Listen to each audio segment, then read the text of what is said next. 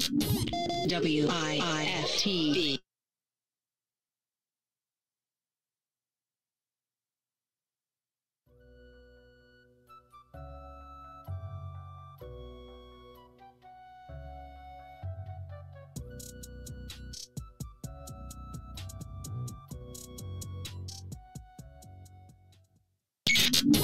W I I F T B P M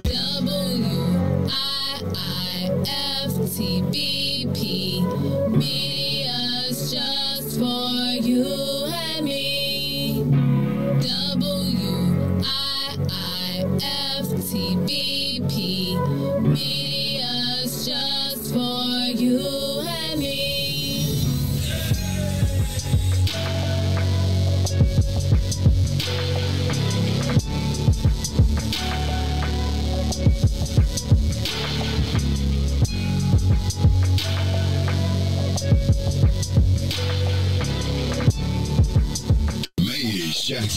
Tune in to The Maze Jackson Show every day, Monday through Friday from 6 to 9 a.m., where you can catch us on YouTube, Twitter, Twitch, and Facebook Live. Plus, from 6.30 to 8, you can get us on WBGX 1570 a.m. That's right, it's The Maze Jackson Show, where every single day we ask the question, May said, we out of here. Peace.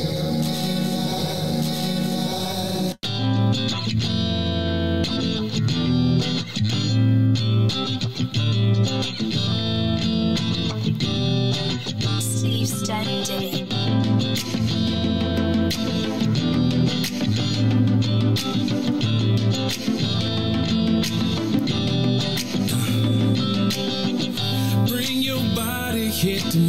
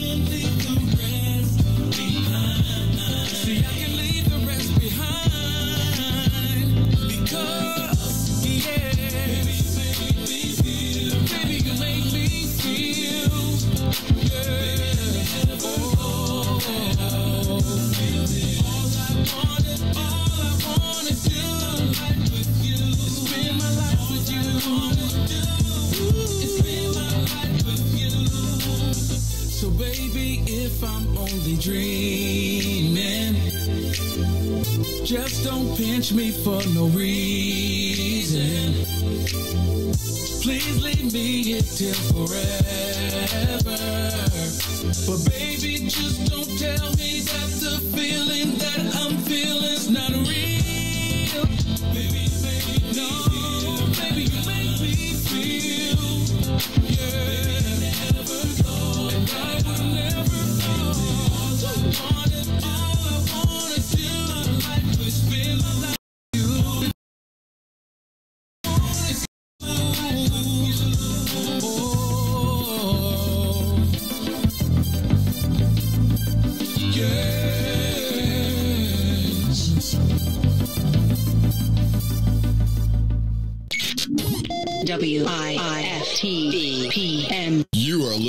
the most dangerous show in the morning. This is What's in It for the Black People Radio. Maze Jackson. Maze Jackson, the most vociferous advocate for black people in the world. For Ruthie Moore, for Taj Stroger, I am the host of the Maze Jackson Show, asking every single day, what's in it for the black people? And if you don't like it, you can still tell them Maze said, Mayor Lightfoot, man, we ain't accepting that. We ain't accepting that. Let's go. Thank you.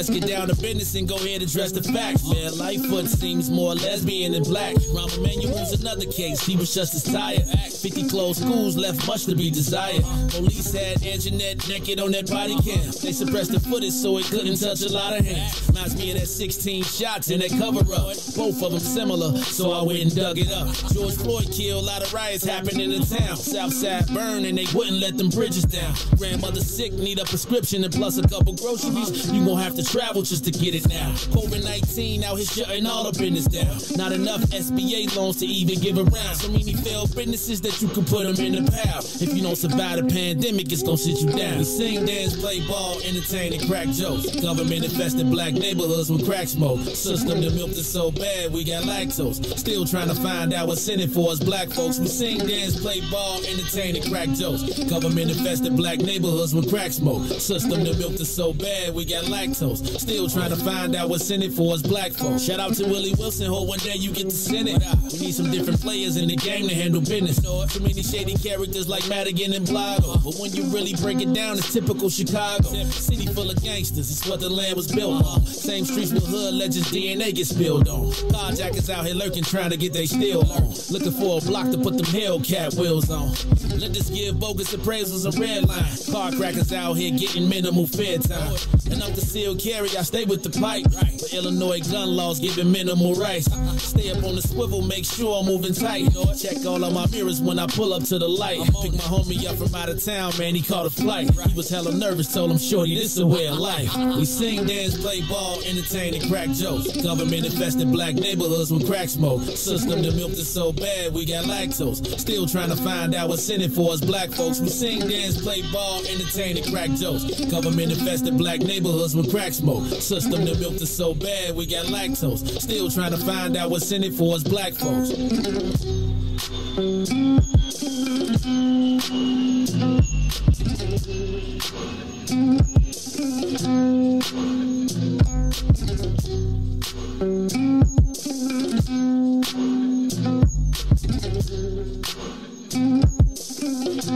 Wake up, Chicago. Uh, wake up, world. This is the Maze Jackson Show. On a Tuesday. Blowing up. On a Tuesday. It's the Tuesday. Tuesday, Tuesday. That means it's not Monday. We one day away from hump day. Um, but it is blowing up. That's right. On a Tuesday. We're gonna blow it up on a Tuesday. First of all, shout out to my man my homeboy. Well, not my homeboy, because I don't know if you can call a doctor your homeboy. But shout out to my man Willie Wilson. Put the smack down yesterday. You know how you be. You know how Riis. You probably play spades. You probably a spades player. You're not probably a bid player. Speaking of spades, we're gonna have. I, th- I think I'm gonna have this black space, and we're gonna have us a, a spades tournament. But spade. You speaking of uh, you, Riis, yesterday, Dr. Wilson was like, I done hit you with 250000 At first, I hit you with a quarter million gas, my own money. Then I came back at you with a million dollars in gas, my own money. You trying to spend our money. And I'm to keep on spending money. I'm not taking the check. And when I get the check, I'm passing that out. I put five milli he said, I don't know if it's gonna you might y'all might go check today, it might not be there, but by tomorrow morning, which is today, it's gonna be five million in my account. So that's kind of like when you be on space, you know, when you be like, you know, you be licking your fingers to put the cards down because you you need the good slap. I can't do it with the can't ultimate when you lick the back of the car and slap the stain on your forehead. be like- did he do that one? He did the He, he well, see, he couldn't because Okay. Dr. Wilson was looking too fresh. He had his makeup together yesterday. He had his line on. He was like he was ready. And when Dr. Wilson made you, Dr. Wilson made them come to his house. You know his his. Do you know his neighbors be like, really, man? Like, I w- I kind of wish he had his house shoes on when he did it. I wish he would have made the reporters take their shoes off. Because, you know, Dr. Wilson crib is pretty fly, right? You look over the whole Navy Pier, the whole you dig, right? But I- you think Dr. Wilson made them take their shoes off? Like, y'all take y'all shoes off of my house. Nah, he said I'll get that clean. It's all right. Y'all come on in. I'll make this big on the He house. said, I want him to just make them take their shoes Take the off. shoes take your off, shoes, take your off. shoes off. I know you got that big old camera. Take your shoes off. walking around no shoes. Take the no shoes in the crib, right? Take your shoes off in my house. I wonder how many people had good socks. Yeah. Hey man, take your shoes off of my. You know, Imagine how many people that didn't have this. If you didn't have good sight, your feet. Ooh. we had all the preachers there yesterday too. Dr. Wilson put it Oh, down yesterday. Can you imagine how many Stacy Adams would have been at the door? Oh. I'm sorry. Let me go ahead. Stacy's and Gators, Stacy's and Gators, and they match. You know, you can find you a pair of Stacy Adams almost any color. For sure. Like you know, you know what I like when the old men be having the Stacy Adams that got the curl in it, sort of where it's been up Yeah, right in the front. tip, the tip. And but then they got the little, but then you can't tell them nothing about them because they be spit shine, spit shine. So shout out to uh, Dr. Willie Wilson. Uh, I thought Dr. Wilson was gonna come in. He too busy for us today, but he said he'd get us. I gave him two dates. So in the meantime, we're gonna be talking to um, another mayoral candidate, be coming live into studio. Um, Alderman Ray Lopez of the 15th Ward threw his hat into the ring. Now I'm gonna have to ask him: Did he come? Did he go see Tucker Carlson before me? Right? You know what I'm saying? Because you know that's how the mayor is national too. They be doing them national shows and then come back and tell the people. So we're gonna talk to Ray Lopez today, though. You know, Ray was the one who put us up on the machine gun Kelly about the the toting the machine guns. Do I got some Ray Lopez in there? I'm sure you got some Ray Lopez clips in there. So we're gonna have to go through those over one of the breaks because Ray, Ray Lopez will be in at seven. Uh, so y'all make sure Aaron Riis, you wake, wake my Lions up because the Lions Den is in full effect at seven o'clock. So at about six fifty eight, give them a good yarn, stretch them on out. Then when we bring our our, our fresh meat in, because it's, it's this is political season. It's the den. It's time, Riis. You you you wasn't really you ain't know about the den den because we ain't had no real political stuff.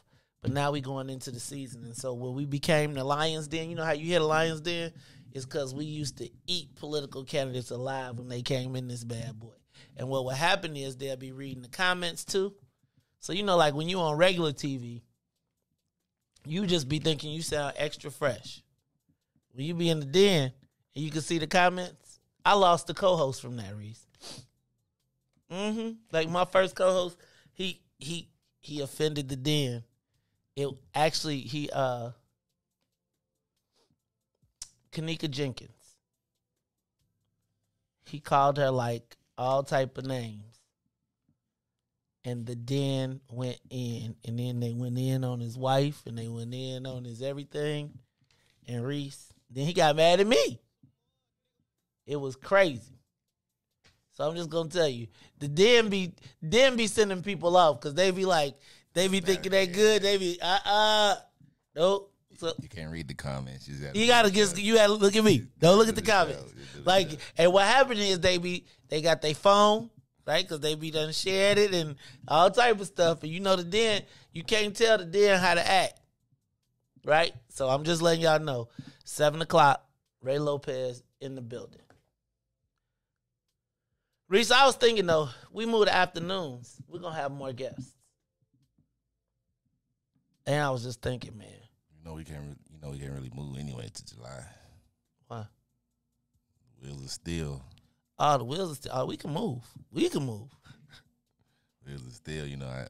You know I usually this work for me because you know I go out there and I go you know do another wheel of steel with a steel. Oh, see how brother see, see how the income, see how the see how the Jacksons be doing. See how see that spread of See, see the Jackson spread. You see how the Jackson spread be working. See that? It just it just be working like that. So then you know how when you put somebody on and they be like, hold on, you you put them on and they want to tell you about the other person, not the person who put you. Oh, also, you want to tell me about. So you don't want to tell me about the Maze Jackson show. You want to tell me about the Wheels of Steel. All right, I see. Y'all see how this works. See, this I is. said both of them. I was letting you know understand, how they gonna but work, how do you know. prioritize? Um, you know, I, I feel, I feel, I feel like the correct answer is I will always put the Madam Princess. You know, the, uh, I'm sorry, the uh, Madam President. You know, I'm, I'm- you know, w- wouldn't you want me to think about the, the uh, Madam Pr- uh, President first too? No, that's not the good answer. I didn't. that's what I said. I'm gonna let you answer. I would have probably, I would have probably opted out. You would probably opted out. I probably would have opted out on that question. I would probably because you know, because you know, I could go home and be salty, and then it'd be like, then you'd be burned up anyway, right? Then I would just be like, oh, you so go. you know, I'd be like, man, see how loyalty works? See, because the way we work is how you get to the table, Oh, right? So the Jacksons would be like, okay, so the first loyalty is to how you got to the table. And the person that is the second beneficiary always knows that the first person remains the priority, right? Because that's that's the check. Like they wouldn't come to you; they would come to me and say, "Hey, I got a problem with da da da da da." right, right, Right?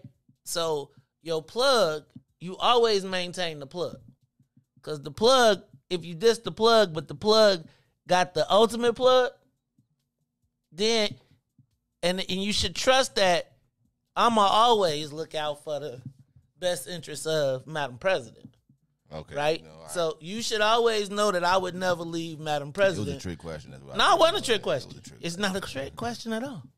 It's very simple. Stick with the people that got you to the table, right? Because no matter how many other people you meet, the people that they brought you to the table with knew you first, knew them first. So you always got to remember that. Like I'm, I'm gonna try and start sharing some game because I think they done mixed it all up for everybody, and so sometimes people be confused and you outsmart yourself, right? So anyway, that's a whole nother story. And of course, Riis, I want you to make sure that she gets to where she has to go. Uh, but you know, one monkey don't stop the show. That means so we got to figure this whole thing out. Look, y'all, it's the Maze Jackson show. Anyway, I was telling you if I came on at three o'clock in the afternoon, we probably a lot more people probably come. I was thinking about, man, what if we was broadcasting from like downtown or something? Like, outside. Mm-mm. That's all right though. That's okay because I'm. That's all right though. I'm gonna be te- um, Yep, I be talking. I be quiet, but I be talking again. So we gonna talk about it all. It's the Maze Jackson show. I think we might make that switch though in May, dog. I don't know if I could go all the way to June. This I'm I'm starting to I'm starting to be like, hold on, three o'clock sounds a lot better. I still Tanil keep telling me I should take one to three. I, you know, I took one to three. I just probably just take all the you take the air out the universe. Wouldn't be no space in the water. So I'm like, uh, you know, I ain't really that petty. I am actually, but I'm not.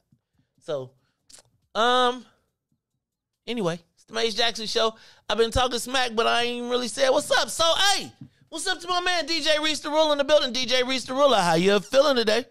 Blessed by the best. You already know the rest. It's- a good Tuesday, man. On a Tuesday, Yeah, Riis, I came outside and your car was gone. Y'all like switched up and moved around, and I was like, "Dad." Yesterday I came in, left, came back, and I, I I sat down for a minute, got to writing, and I came out, and I was like, "Dad." I thought I was gonna run into y'all. Then it didn't happen that way. So I just think I think I think the the I don't even know what you call yo. That's a That's that is, you know what? I didn't like the car at first, but right now, let me tell you, man, twenty five dollars fill my tank, and I'm good to go for about five days. So, yeah, I don't like it, but it at the gas rate right now, I don't know what the car. I don't even know what what that car is. I just know it's a Mitsubishi. Hey man, I'm gonna tell you. I pulled. So you know I went to the old school this weekend, right? So you know I've been driving a winter car, but I had to take. You know I had to take the Porsche to the old school. I, you know, you got to come back to the old school with the car. I realized that the winter car eats way more gas than the Porsche. Like the winter car, that bad boy is like that's a that's like a buck twenty five to fill up, and you get about five, four and a half to five days off of it. I can go about seven on a full in the Porsche. I'm about to put the winter car up, man. And I was just thinking about the old school, man. But the thing with the old school is, I'm I'm gonna have to tow it to somewhere and pull it. The gas in that summer gun, it'd be like what? They didn't have no gas economy back then. Yeah, you hate 67 Impala SS. 67 Impala because they gas was 67 cent. It's like every time you step on the gas, it'd be like you could watch the gas tank go like this, like you could, cause it's a bobber in there, so it'd be, oh, I'm just going around the block. I'll park that mug. All right, y'all, it's the Maze Jackson Show. I'm your host, Maze Jackson, DJ Riis the Ruler. We are in the building on a Tuesday.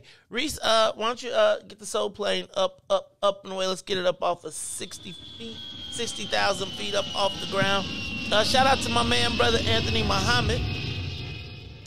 Uh, brother Anthony will be in the studio with us on Thursday. He up from Atlanta. We might have to uh bless him in while he here or something. You know what I'm saying? We might have to get us a get the get give him a, a, a charter to take back to Atlanta with him and build around it. But we're gonna figure that out. But Riis, it's gonna be a good week, man. I'm excited about all the stuff. Dr. Wilson said he gonna come in some point this week. Uh, we got Ray Lopez today. Uh, check this out. Did you see Ghostbusters, man? They ghostbusting the ghost gun. Like it's all over the news right now. Ghost guns, ghost guns, ghost guns. I was like, who cares? Like I feel like it's just a new hype.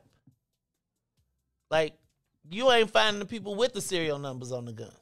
So why do we care about the ones that ain't got none? And I guess it's just a. I'm not gonna say nothing. I'm gonna let that be. Uh, did you see Philly's bringing the masks back? COVID is popping off. I think we ain't. I don't think they're gonna make it a big deal anymore. I think they're not gonna put it on the news. I think they're gonna just be like flu, COVID, COVID, flu. But they talking about you can get COVID from the animals now. Like they saying it's deer COVID, and next you're gonna be like dog COVID. This made me think of the Planet of the Apes, man. Like, I and I know I'm not supposed to say it, but I'm I'm starting to feel a way about China. For real, bro. Like for real. Like they keep it, every time you see something happen in Shanghai. Next thing you know, we on. Am I allowed to even say that? Cause for real, Riis.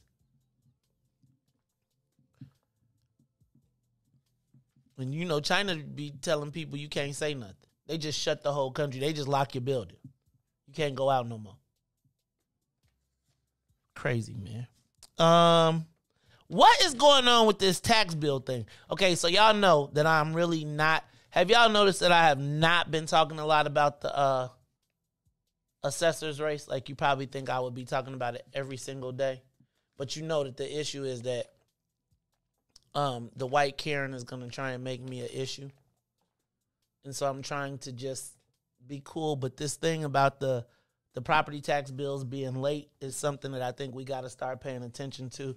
I think we here at What's in It for the Black People Media or at our other location were very instrumental in the election of Fritz Kaegi. I think that we brought him on quite a bit. We tried to share his information, and it does seem as though um, he has not lived up to his promises to us specifically. I would love.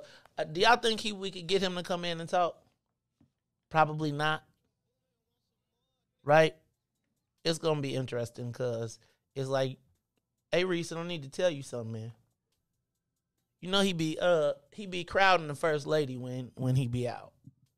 So I'm gonna be telling y'all, man, I'm gonna need y'all to be checking him out, right? Cause he be crowd. You know, like it's like that whole big dude getting all close. Like, what you gonna do, homie? Back up. Get some. You see where she at? Then you gonna go stand close and be like towering over. You hey man.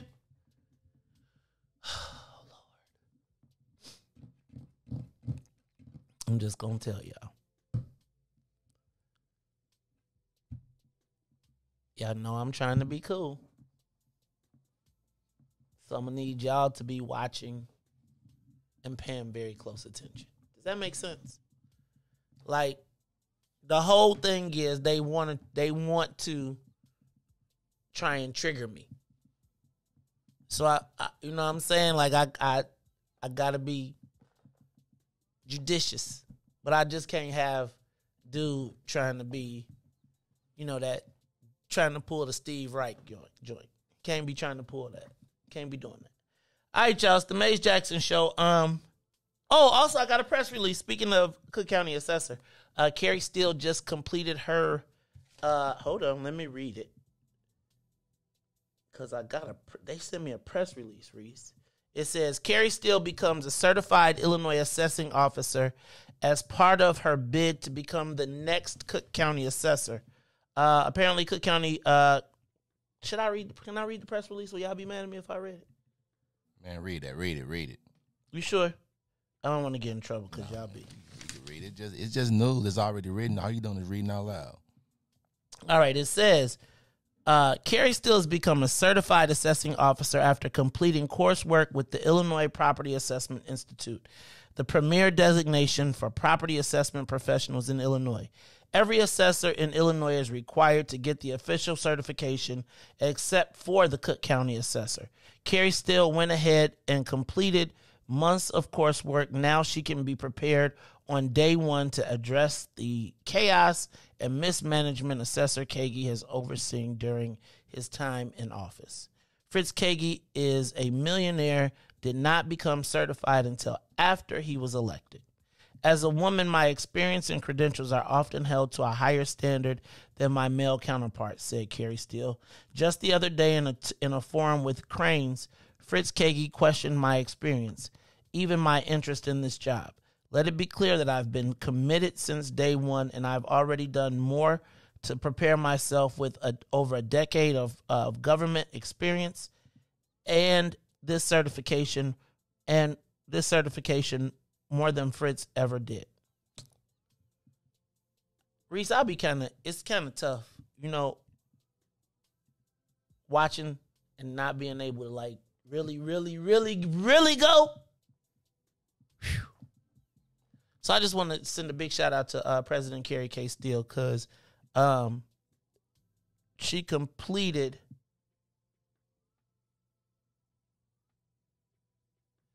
um, that assessment, Riis. She like official, official. Y'all send out the shout to the lady. All right, y'all. It's the Maze Jackson Show.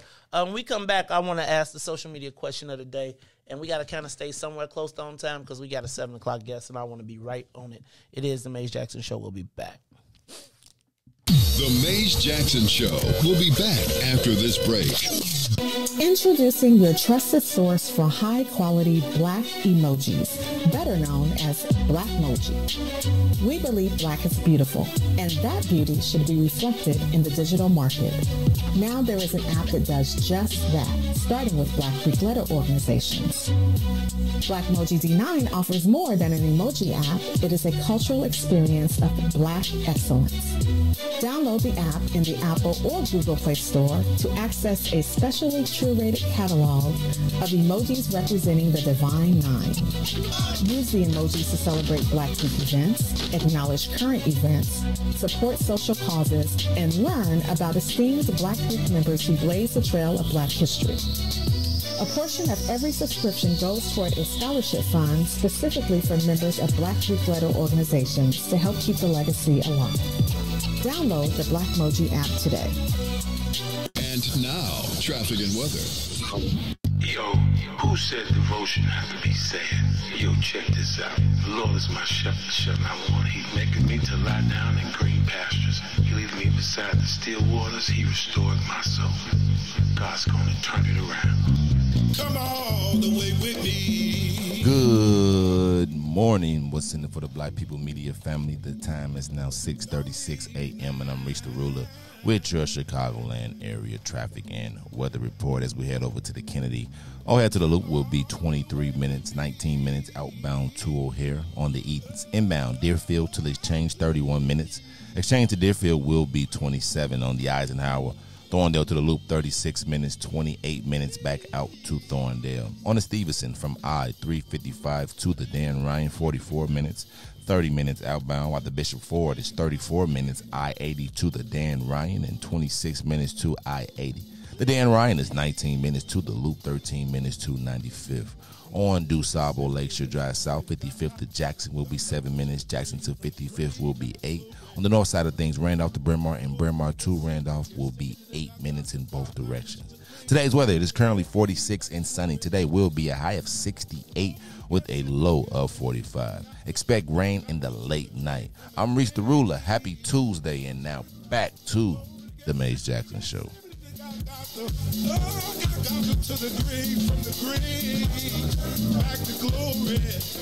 Oh yeah, oh yeah, oh yeah.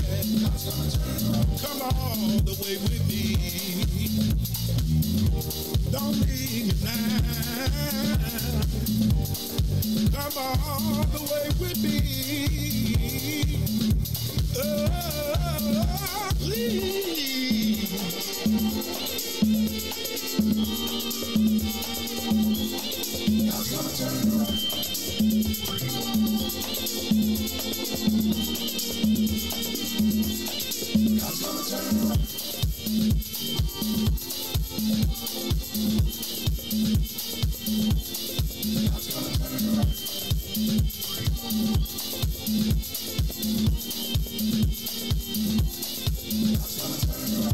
You are listening to the Maze Jackson Show. I'm your host, Maze Jackson. Got my man DJ Riis the Ruler in the building. Hey man, I told y'all it was going to start, so we're gonna have a um, conversation. Look out, it's the Maze Jackson Show. I'm your host, Maze Jackson. I got my man DJ Riis the Ruler in the building. Whew. Riis, I'm about. Oh, dang! I didn't even do what I was supposed to do. All right, shout out to the center. To the Let me back up. It is six thirty. It's a little about six thirty eight. Uh, shout out to uh, the listeners, the Saints on WBGX fifteen seventy AM. Um, the Saints um 1570 AM. You join us every day at 6:30 AM. You go with us from 6:30 AM to 8 AM. Uh, and then let me say what's up to the sinners. They join us at six o'clock and they go to nine o'clock every day. Um, it uh, you can listen to us on Facebook, YouTube, Twitter, and Twitch if you are one of the sinners. If you the Saints, catch us on 1570 AM. Uh, WBGX 872-259-7474. That is the number to call. And I want you to call today because I really been thinking about um I really been thinking about separate but equal.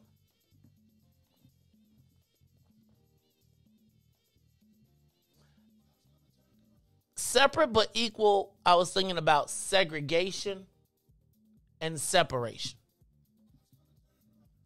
So Riis, do me a solid. I want you to hit the hit the hit the big voice because I'm ready. You ready? Listen. It's time for the social media question of the day. Is separation acceptable? And I want you to give us a call 872-259-7474. 872-259-7474. Um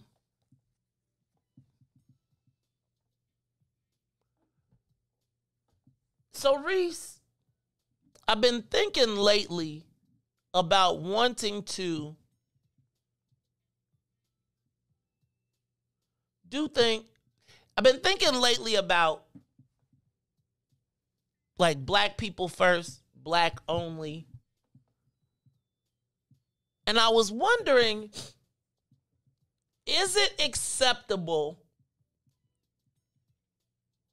to have is it acceptable to want to live in a separate neighborhood? Not a segregated neighborhood, but a separate neighborhood. Like, is it wrong for me to want to live in a, a black neighborhood?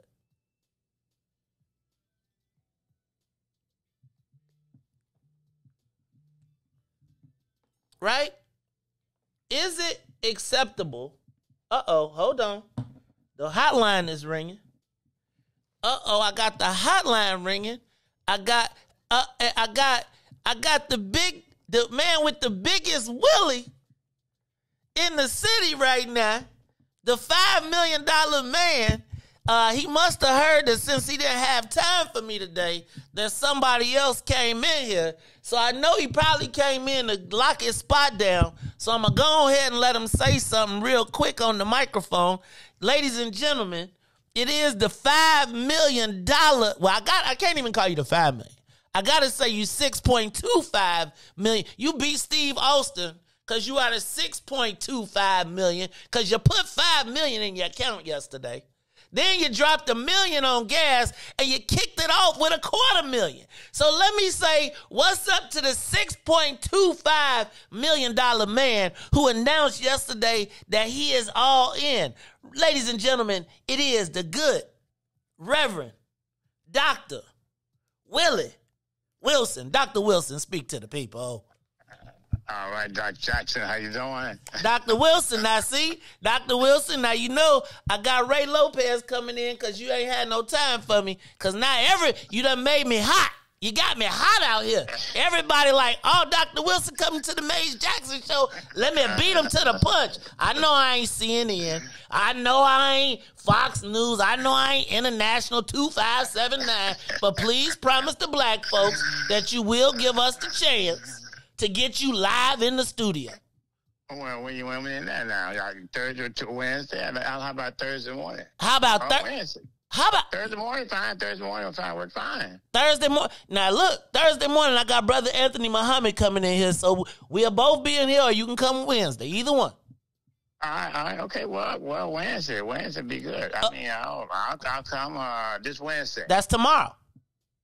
Is that tomorrow? All right, Uh, okay, see? okay. I, I, no, no, I'll come uh, Wednesday. What time? What time? Seven o'clock at night, early, Doctor Jackson. Hey, hey, Dr. Wilson, that's when I got the church folks. That's when I got the church folks on the. You, okay, you know, I'm on the radio during that time, so I Se- want you to get the match. Seven o'clock, seven o'clock tomorrow morning. I will be there. It- will, I will be there. at Seven o'clock. All right, now, Dr. Wilson, real quick, tell the people what happened yesterday, what you want to say, because I know my man on his way up here. So go ahead. I want you to go ahead and, because you know, Dr. Wilson's one of the first ones with us. So, Dr. Wilson, five, six, Dr. Wilson, where you getting all this money, man? Well, we work hard for it. You know, we work sixteen hours days. You know, to work hard for it. You know. Doc- Dr. Well, look, Wilson. I, I would tell you that all tomorrow morning, but look, we made a mistake. As I said yesterday, we made a hell of a mistake supporting that lady, you know? The mayor. We made a hell of a mistake. And that she's been bad news since she's been out here. And I'm not going to just say, talk about her all during the, uh, the run here, but uh, we're going to talk positive how to fix the stuff.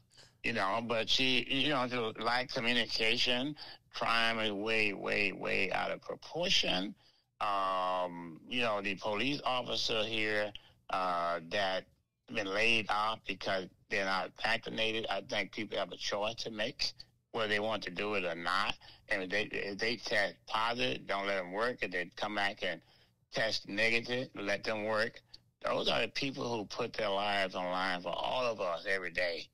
You know, and, and th- th- those kind of things. CTA, people getting robbed on CTA. You need armed Chicago policemen officers on CTA. You know, you, you need to stop all this foolishness stuff and deal with it. And you need to be able to talk to people, communicate with people, and fix the doggone problem. And, and here's the other thing too.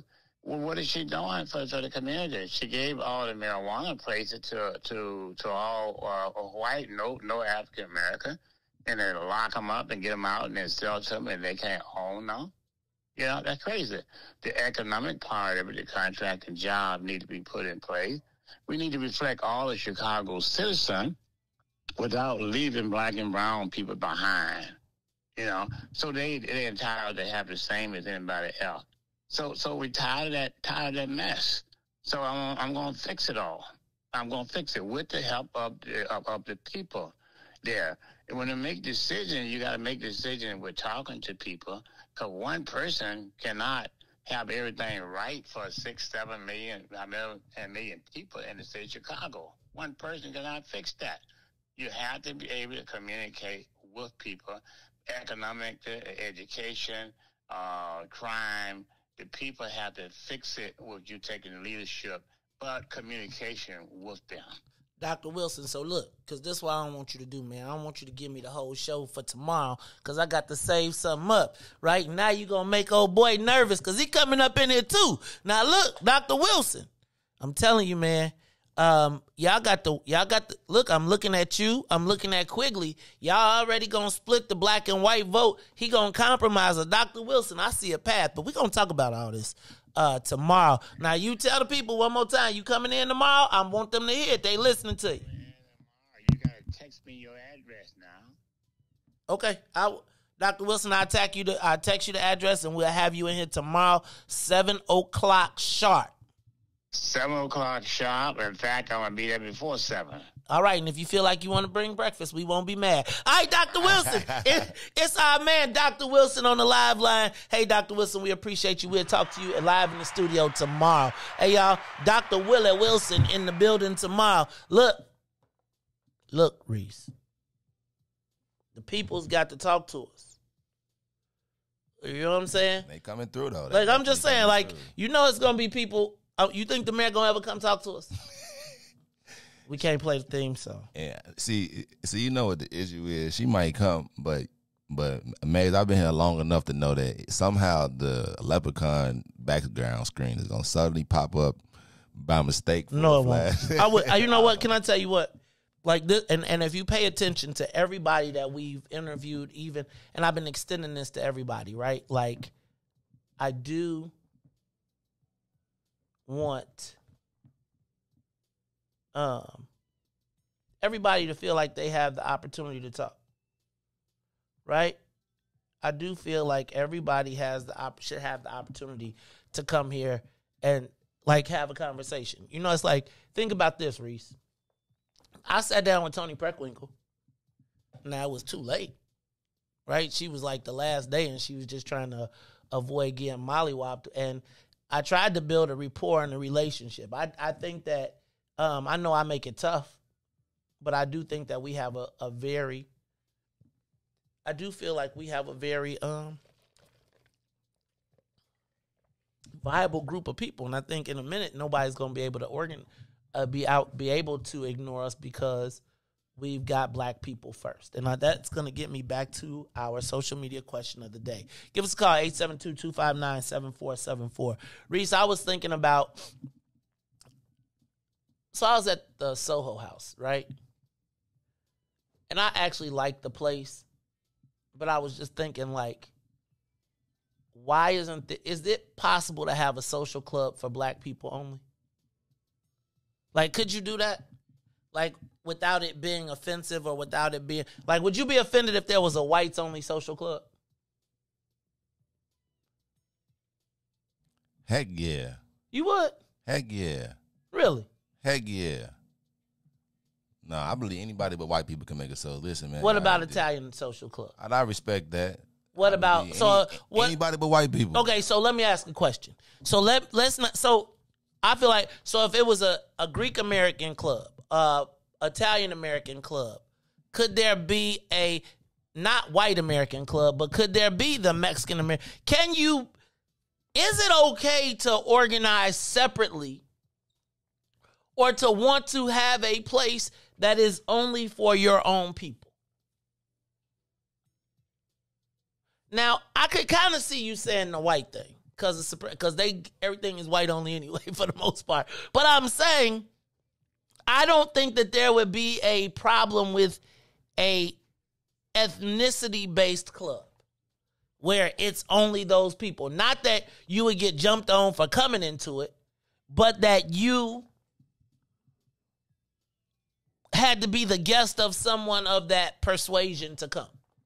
Like you couldn't just walk in off the street. Like I don't feel like and so Riis, you say it could be anybody but white. Like, but it could be could it be the Czechoslovakian uh club? Where it's only Czechoslovak well not only like but Polak Che- or something like that. I- Polish. Polish. Like could it be a Polish American club where Polish people hang out? It just can't be white. Correct. So but it could be watched what that was already. Okay. Okay. we, we, we, we, watched what that was already. No, sir. So I am I am curious to know can you be separate and not segregated? Does that make sense? Like I feel like sometimes I sit in like say I again I'm going to use the Soho house, but say I'm sitting at the Soho house and you want to have a conversation and there's like some great brains in the world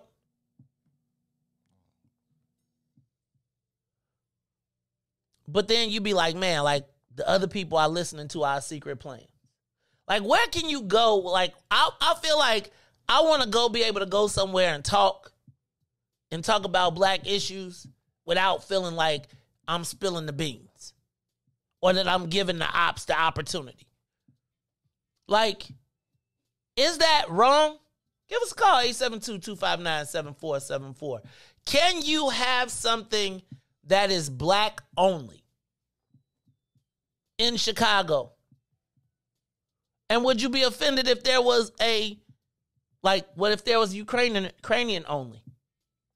And when I say only, I don't mean you can't come. I mean that you can't come without a guest, being the guest. Like is Chinatown segregated or is it separate? Like, do they, did we put them there or did they say we're going there?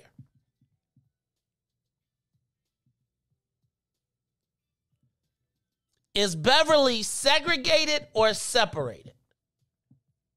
It's not that you can't live there, but I do think there's a certain level of pride of living there That that start off as segregation and and now it's separation. mm-mm. well, Like you can start off like you know how you know how like you know how like they put the blacks or something like you know what I'm saying. So it started out as segregation, like I'm gonna put the blacks here, you know, and, and like now it's like separate. See, I feel like though, but they they put us in a place and then target us. They bomb it. Like they put you in a place and be like, take all the resources out of it. Whereas like in Chinatown, like when the old girl took Chinatown, she like, now build us a high school. Us. They like, y'all got Harper down there. But we want. And I I guess my question is, is it wrong to want to be separate without being segregated? Give us a call, 872-259-7474. Like, and if we said something was black only,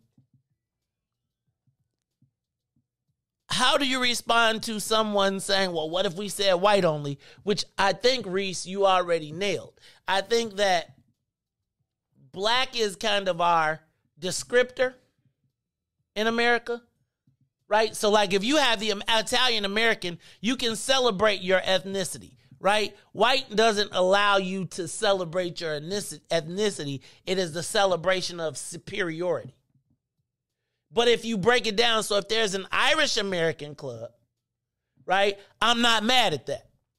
But if you say I'm the white American club, you like, right? So can there be a place where black people can have their own without saying, without being accused of, re, I don't want to say reverse racism, but can, can you do that?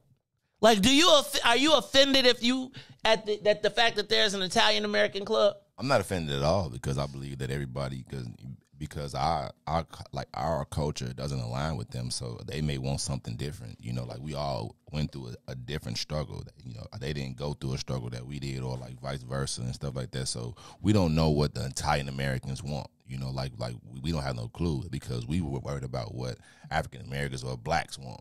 So like I don't have no problem with other you know other races because you know like starting their own organization and trying to look out for their people. Like if the China, if the Asians come over here from Asia, we, we don't, you know, like the Asians should have their own thing that revolves around them to feel comfortable to, you know, like carry on their traditions and stuff like that. So I don't have a problem at all. But that whites only, no, I, I just went. Right. I see, I see you. Nah. Uh, Temple Rael says we're already separate and segregated. See, I think we're segregated. We're not separated. We didn't pick. Right? We didn't say, okay, we're going to do this. This is where we were forced and we didn't take control of it. So let's say, like Riis said, it may start out segregated, but Chinese took over and made it separated Correct. Yeah. and they cleared the land and then they started expanding out. Caller, you're on the Maze Jackson show. Can we be separate and not segregated? Caller, you're on the Maze Jackson show. James say yeah. James, J- you Can you supposed to say Maze? you supposed to say Maze, Maze, Maze. I did when it beat. But Okay. Maze, Maze, Maze. How you doing this morning, my brother? I'm good, man. What? you got to think about it, bro. We've been separate. Uh, everybody's been segregated. We're the most segregated city in the country. So what you basically what you saying, you preaching to the choir. So like the Serbians and and and the uh and everybody else have always had their own little cliques. We're the only ones that try to open up and be friendly to everybody else, where everybody else is closed ranks, especially the, the Chinese community. They keep their money circulating within them. They keep everything about them. All they wealth, you know, we was the only ones where we were stripped of our culture coming here. Everybody else was able to bring their culture from the Latinos to the Chinese to the Serbians to the Russians. They were able to bring whatever they had from their country that they were quote unquote fleeing from because some went, most of them immigrated over here because something bad was happening in their own country. So us, I, I would love to see it. I would, I, I would love to see our own Wakanda. But it's so much bickering and, and, and infighting that soon as soon as somebody brings somebody in, we we know once we close ranks, somebody gonna say, Well, this is my white friend right here. He's cool. Come on in. And nigga, once again, we infiltrate. So I was just thinking about that. Like, could you have a blacks only social club? Like, could you do that? And Well, and you know, like, and oh definitely. We can. We can, bro. I feel like it would be But a how point. but the what Go ahead. go I'm ahead, listening. go ahead, I'm sorry. No, I'm listening to you. Oh, okay. But we can.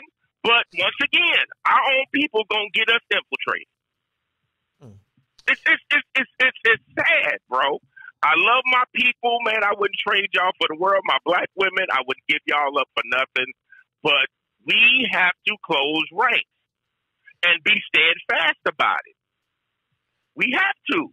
Yeah, Everybody else is doing it. How come we can't do it? okay. And real quick, Maze, for your uh, carburetion problem on your old school, go to fuel injection, bro, and you and you'll be get better gas mileage. Do a throttle body injection, or you could do a multi port. The throttle my body looks more old school, where it looks like a. They have some uh, fuel injection units now that look just like carburetors, but they're actually fuel injected. You can go that way for your old school, and you still be balling, and you'll get better gas mileage. You know what? Thanks, James. I'm gonna have to get in a car club. So some because I don't know nothing about cars. So I think the dude be getting over on me. He just be like, "Man, you got to get the da da da da da." I'd be like, I'm still like, "Come on, man, let me get this car on the road." Thanks, James. Man, I appreciate you, man. Hey, it's the Maze Jackson Show. We got anybody else on the line? Let's take the call. Call you on the Maze Jackson Show. Can we have our own separate place without being segregated? Byron here. Good morning. Byron, you early, Byron. What you, By, By, and you Yeah, been, I'm early today. Hey, hey, Mr. Vice President, you kind of chill too. I you ain't you been low key, Byron. I think them ladies wore you out in Brazil, man. No, it's the inflation number coming up today. Got get get get ready for the CNBC information. Anyway, Okay. hey, um, to- for us to get together, I, I believe so Harley with the the caller just call. I mean, all his points are good, good and credible. We have to do is to, to do it is to say African Americans. the Hispanics do Hispanics, right? Uh-huh. Everybody do the, the language. We, we, we don't call it black. Just call it uh, African club. The African club. See, we can't call it the That's way African club around though. it. See, but see, we can't call it the African club because you know, Byron, the Africans Okay. don't treat us the same, and I think you Yeah, know with this yeah, whole yeah, yeah, ADOS true. thing That's going true. on. So we gotta. Now I see you may want to call it the African American club, but I think we trying to get something a little Right. stronger, and I think they. So I think it's a lot going on in that space. Uh, but we, I think you're right though, Yeah, Byron. yeah. So we gotta, we gotta. You maybe we call it the Black Israelites Club. That's what Bob would want to call it. In Right, something, something of that nature, right, to get around it. So just in case somebody brings somebody outside of that, we can say, hey, well, this is not for them. So can I just But ask? anyway, though, but Byron, go, but do we see? I Yeah. feel like why do we gotta make an excuse for us? That's all I'm saying. Okay, but go ahead. It's because the infiltration, though, the infiltration. Black folks always want to bring somebody else into the damn club that shouldn't be there. That's But they, oh, we're free, but we we we we we, we want to be together. We want to be we want to be we unite with other people. Well, we unite with who? For what? Why? We ain't getting nothing from them.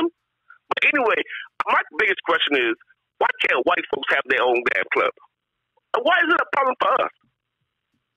I think he. If you ever go to his, have you ever go to the Hispanic community? Everything is Hispanic. They don't give a damn of white folks, black folks, and nobody folks. They have their own, doing their own thing. You don't hear them complaining about they, they need this, they need that. They just do it. Just do it. Nike. This is like Nike, man. That's good stock to own too. But anyway, yeah. I mean, that's what we need to do. We just need to do what's best for us and just keep moving. All right, Forget about that white stuff. will you, will, uh, so let me ask a question, Byron. Will you join the um? If we start a Black Social Club, will you join? Will you be a member? Yeah, I could be a member. All right, that's what I'm talking about, Byron. Because we're gonna have us a black only social club. You watch. It's the Maze Jackson Right, and show. just keep moving. Just move it, move it until somebody stop it. Keep, move, Why keep they gotta moving. stop it, Byron? We know they're gonna see. That's what I'm saying. We No, can't have I'm a just saying before, you know, there's all there's always somebody gonna file a lawsuit or some kind of crap and just give you some bad information. Talking about this club is all black and they should be discriminating against other people. Who cares about them? Just keep moving in the direction we need to go to. That's all. Uh, you sound like Big Brother Kane. He said, "Get with those who want to get with you." All right, Byron, I appreciate you, There man. you It's the Maze Jackson Show. Anybody else? We got one more call, and then we're gonna be talking to coming back. We're gonna be talking to uh, Alderman Ray Lopez. He is a candidate for mayor. You saw Willie Wilson heard he was coming, so he had to put his put his marker down. But w- let me take this last call. Caller, can we have our own separate place for Black people?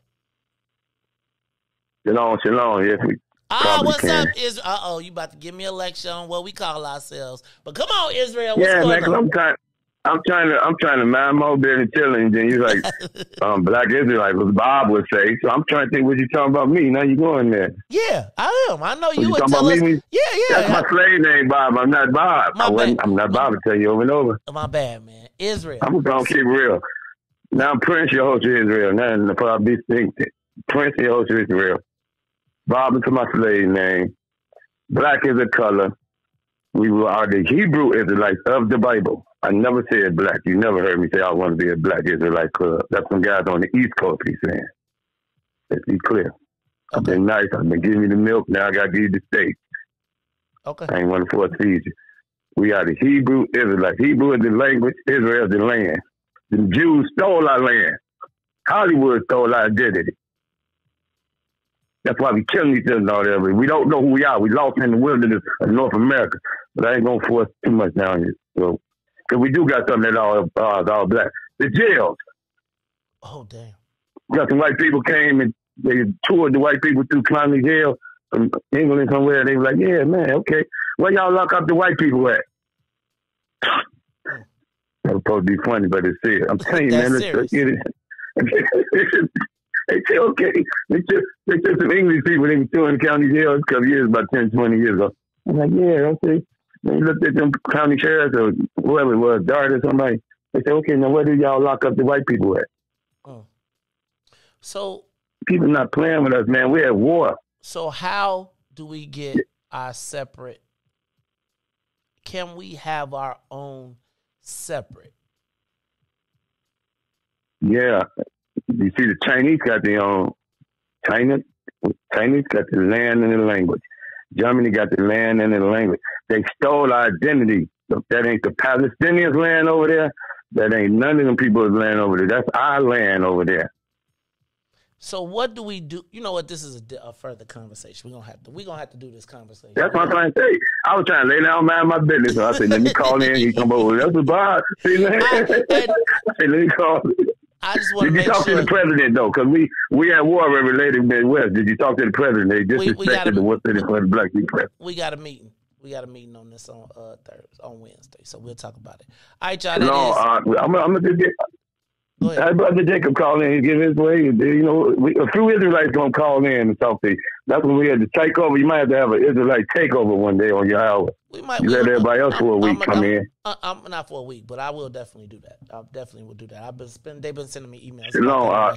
All right, we out of here. Look, y'all. When we come back, we are going to be talking to 15th Ward Alderman turned mayoral candidate Ray Lopez in the building. Riis, do you did you wake up the lines? I told you get the lines woke because it's time for the lines, Dan. And then, I, I, do you got any Ray Lopez quotes in there? Like I know we got some Ray Lopez quotes in there. So we're gonna we, why don't you find the one about the people walking down the streets and we're gonna come back after that. Yo, it's just the Maze Jackson show. We will be back.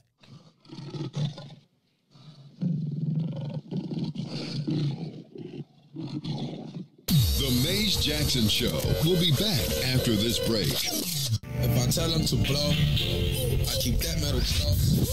That's how we ride in Chicago. Alderman Lopez, welcome back to the Maze Jackson Show. The mayor has a very peculiar way she's dealing with this, and I'm trying to understand why does it seem like we're handling this with kid gloves. The reason that she's not going after the root cause, which is gangs, the reason she's not calling out the silent enablers, as I tweeted out the other day, is because those are many of the same people that she relied on to get elected. I'm talking about the not-for-profits, those that reach out for grants and try to be the intermediaries in a community to try and bridge some of these anti-violence groups, things of that nature. These organizations that say they're trying to build bridges, oftentimes are the ones that are enabling the gang lifestyle and allowing it to go unchecked and not holding accountable the individuals causing the violence in the neighborhoods. Those same partners, which she funds, which she relies on, were unceremoniously all pimping themselves out at a press conference, saying that nobody said a word about gangs, but what they did say is that we need more money for the programs that we offer to help stop the violence. And clearly, for more money to go to organizations that are working against the residents of the city of Chicago. Alderman, how did y'all approve $37 million to go to one ward for violence prevention? $37 million? I don't think there's been a $37 million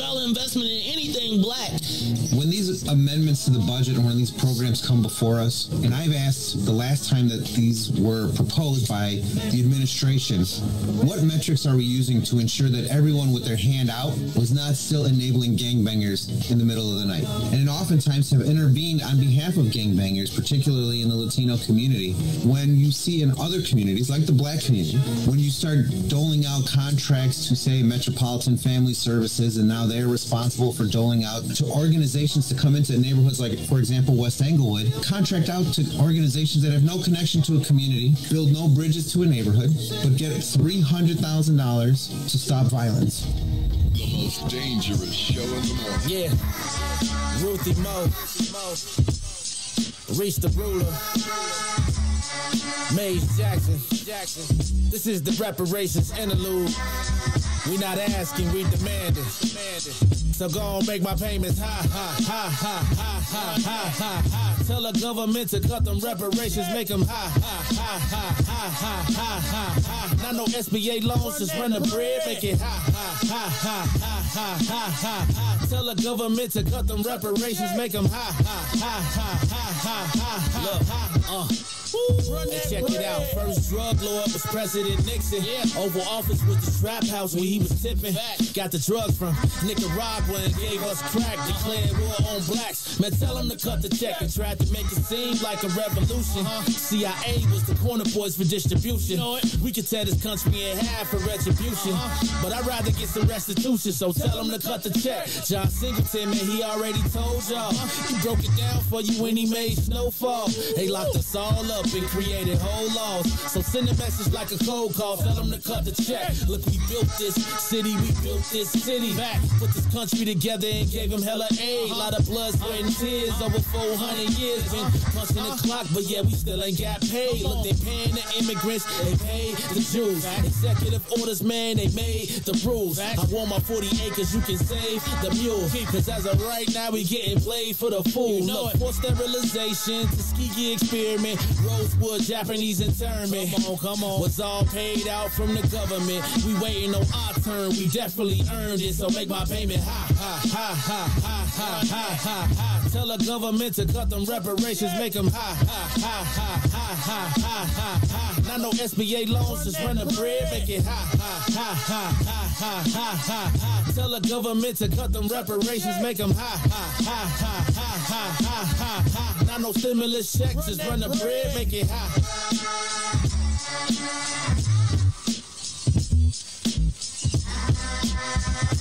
Wake up, Chicago!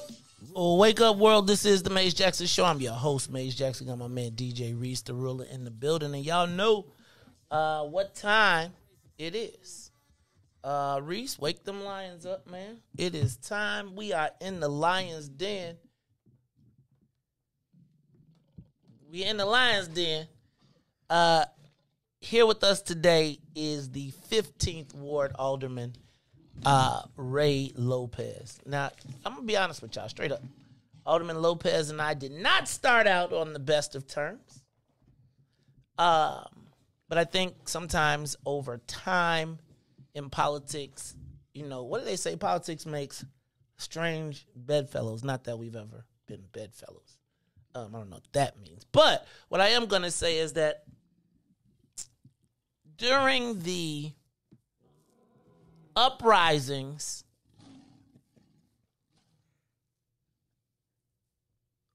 we found a unique alliance because while no one wanted to talk about it there was an underground war being waged on the black community. If you recall, the genesis of What's in It for the Black People media revolved around the assault of black people during the uprisings. And a unique component of it was the fact that the city, Susan Lee, um, Mayor Lightfoot, the public safety team was hiring uh, community outreach groups that were also, by some cases, harboring street organization members who were then waging war on black, innocent black people who just happened to be going through their community. And through our connection, and actually through Alderman Lopez's city council floor speech, where he told her he used some colorful language. Quite frankly, Alderman, I don't see if they got the fr- quite frankly, Alderman, you're full of shh. That should be somewhere in there. Look at Ray Lopez, full of shh and all of that good stuff. But in that process, he described uh, Latino gang members roving the streets with assault rifles looking to assault black people. And we were told to not talk about it anymore. I was actually told that if I said the mayor's name again, um, if I was, uh, if I if a caller called in, that I was to hang up. And if you remember, people were calling in telling us about the stories, and it was like I had the option to shut up or to walk, and I walked, and we started here. So while I recognize, and we're going to get into all of it, I think that in politics, no permanent friends, no permanent enemies. And I think we found an unlikely um, ally on that issue. And then I'd also talk about Lil Homicide, but we're going to get into all of that too. All right, so here in the studio today is uh, 15th Ward Alderman Ray Lopez. Alderman Lopez, you are now officially in the Lion's Den. You announced last week you're running for mayor. What's the deal? Why are you running for mayor of the city of Chicago? So first off, I guess I should do the maze, maze, maze. That's James's line. I'm, I'm going to steal his line 'cause it made me smile while I was waiting, listening. But good morning uh, to the audience of What's in It for the Black People, Chicago Radio. I'm running because Chicago doesn't have a mayor that is exuding any kind of leadership right now. And even in that example that you just described, and in countless others that have replicated themselves time and time again over the last three years, we've had an absent mayor. We've had a mayor that is more concerned about trying to get a positive headline than actually doing something positive for the people of the city of Chicago, particularly for the black community, which has still not been raised uh, by her high vote. So I'm here. I am putting myself out there to run for mayor, provide a vision for what is possible based on what I've done in my community, which is representing both African Americans and Latinos, lifting both communities up without having to separate them, without picking and choosing, but lifting both up and proving that it is possible to help communities when you have a heart for helping the people that you represent. So Alderman, you represent.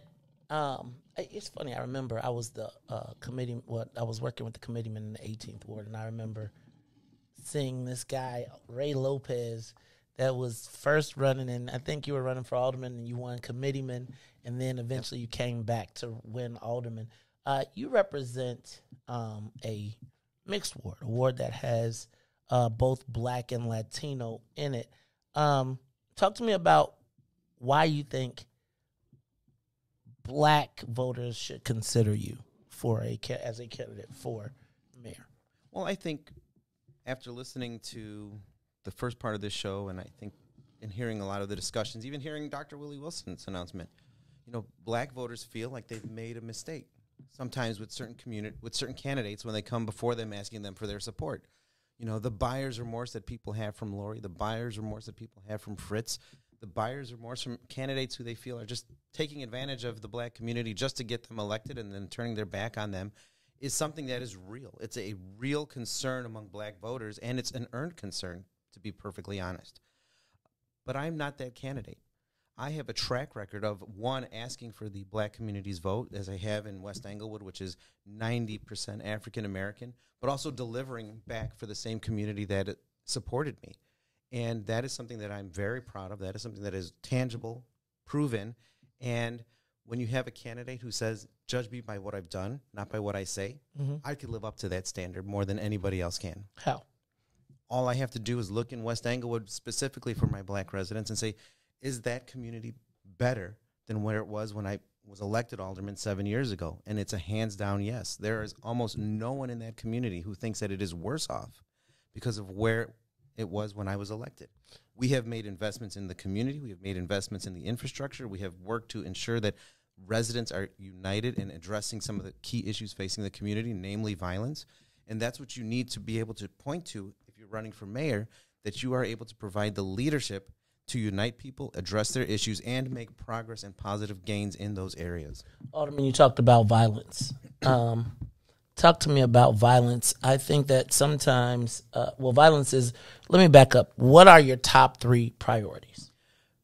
My top three priorities are very simple focusing on safety and taking ownership for the people's safety in the city of Chicago, rebuilding our economy so that from downtown to 63rd and Ashland, we're able to have strong economic corridors throughout the entire city of Chicago, and ensuring that city services are delivered as we continue to stand up and support all of our city workers, our police, our fire, and those of individuals who are picking up our garbage, filling our potholes, and fixing our streetlights. All right. So talk to me about. Um, I want to. I know you mentioned public safety. Uh, crime is the. It's not even the 800 pound gorilla in the room at this point because everybody knows that the city is off the chain. It's it's a it's a wave, a rampant wave that is sweeping across the country. How do you plan to deal with violence? Well, I, I don't think violence is the 800 pound gorilla that everyone knows about. It's the 800 pound gorilla that everyone wants to avoid talking about, to be perfectly honest. We're not having discussions about why our children are acting the way they're doing, why those street organizations are operating with impunity, why we have so many carjackings and smash and grabs going on throughout the city of Chicago. Can you pull that mic closer to you? We're not having thank you. We're not having those conversations. We need to start from a place of truth to begin the conversation to ensure thank you, to ensure that if we're going to tackle these issues, that we're starting from a place of truth and honesty.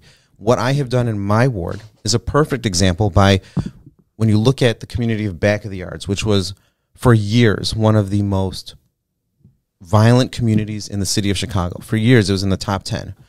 Between the leadership of having a strong police commander who was able to inspire his officers to do professional constitutional policing, between the leadership of myself that brought the community together to not only make those 911 calls, but also to stand in support when criminals were arrested, we were able to consistently and sustainably bring down our crime stats because we were working in tandem, police and community together, to go after those small but significant magnets of violence in our neighborhoods. That's what you need to do, and that's what can be replicated throughout every neighborhood in the city of Chicago. If we continue to just throw out platitudes and do grand pronouncements with no real meat behind them, we're going to continue to get the same results where you have 12 year olds carjacking people, 13 year olds shooting grandmas watering their lawn, and children dying on the street every weekend. Now, so I, so I, so there's an interesting juxtaposition that we find ourselves in because we all recognize that violence is the issue, but somehow it seems like when certain people, you, you're certain people, uh, talk about it, it is perceived very much like a dog whistle. Talk to me about that. Um, it it so it's it's a it's a it's a precarious position to talk about crime, right? Because sometimes it may seem politically incorrect, or it may seem that you're directing it towards certain people. Um, I have heard on numerous occasions um, that there are people who feel like you provide dog whistles for people on the right. Um, the I have a friend that calls them the hairy leg white males. The like you talk to the sort of like you Karen- appeal Karen's to the to you talk to the to the almost like the angry white man that is frustrated with the state of the city. How do you respond to that? Well, first off, the hairy legged, angry white man is Mhm. not the only person concerned about crime and safety in the city of Chicago. Everyone is concerned about feeling safe in the city of Chicago. And what I talk about, those aren't dog whistles.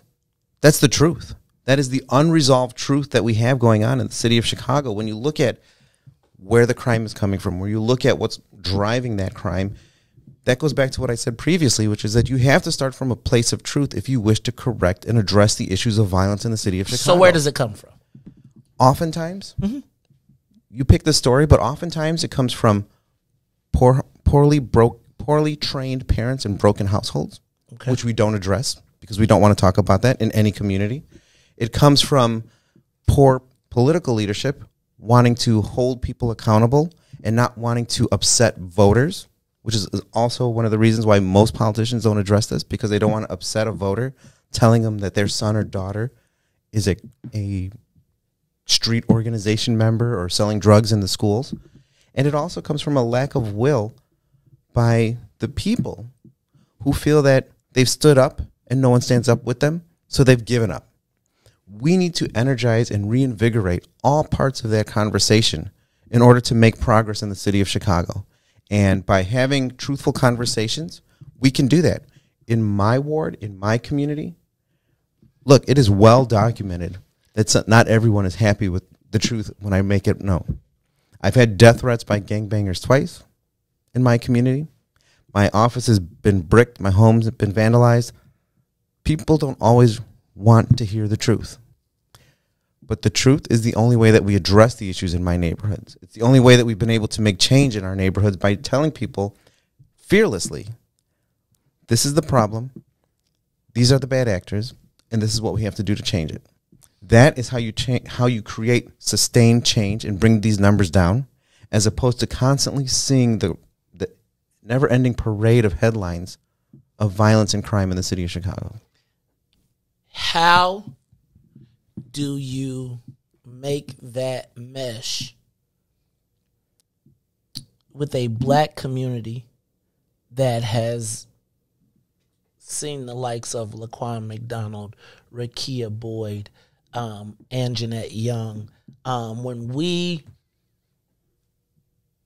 want to be safe in our neighborhoods, but we don't necessarily know that the safety comes from the police or the or the criminals and you look at it and it's kind of like you you don't I, I almost feel like black people don't want to call the police because we know what the outcome the victim can eventually become the victim again Well, that's a couple. There's a couple things to that, Maze. First off, especially a, a younger generation doesn't want to call the police because nine times out of ten, their in, their first initial interactions with the police is negative. Gone are the days where you had officer friendly being the friendlier version of the police, giving children a positive image and role model to talk to and aspire to be. Those days don't exist anymore. So that I think is one of the most basic things that we need to get to, just to get that conversation and that dialogue going again. But you're right. The black community does want to be safe. They just don't want heavy-handed policing. And with Laquan McDonald, we know Jason Van Dyke murdered that young man on the streets of Pulaski. We've seen with Rekia Boyd and Anjanette Young was just in her own home, minding her own business, when a do you feel empathy warrant- in those cases I do. Actually, I'm the one one of the first ones that jumped to say that we had to put a uh, moratorium on no knock warrants following the Anjanette Young case because I see the dangers that it presented to black people and everybody in particular. But that's immensely traumatizing to the black community, which seen you had Anjanette Young, Rekia Boyd, George Floyd, Laquan McDonald. You have a, an an endless list, unfortunately, where policing has gone wrong. And more than that, where it seems as though there's a cover up to avoid accountability. You have to, in order to restore the legitimacy of law enforcement, hold bad actors, even within the police department, accountable for what they do and what they do wrong. And there are thousands of officers who feel the exact same way, who don't want to be associated with people who don't know how to do their job correctly, professionally, or constitutionally.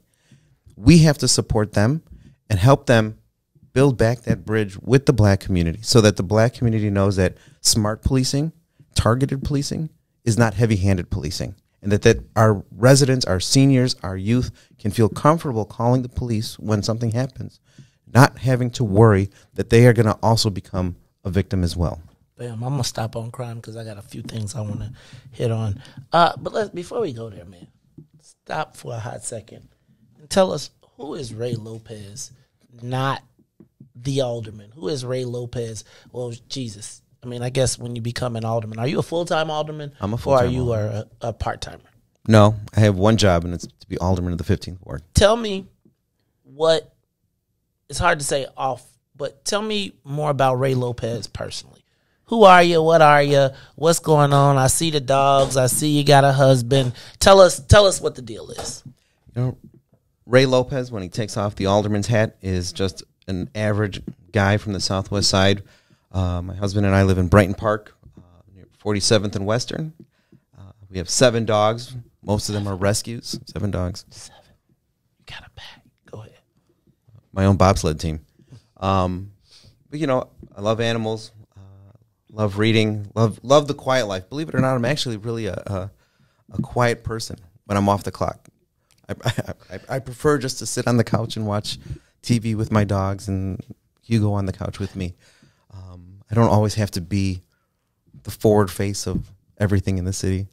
Um, but I also like, you know, going out in the mornings for walks, taking my dogs with me, trying to do some exercise. Sometimes people see me out in the suburbs on the uh, steps over there. Okay. In the suburbs. In Palos.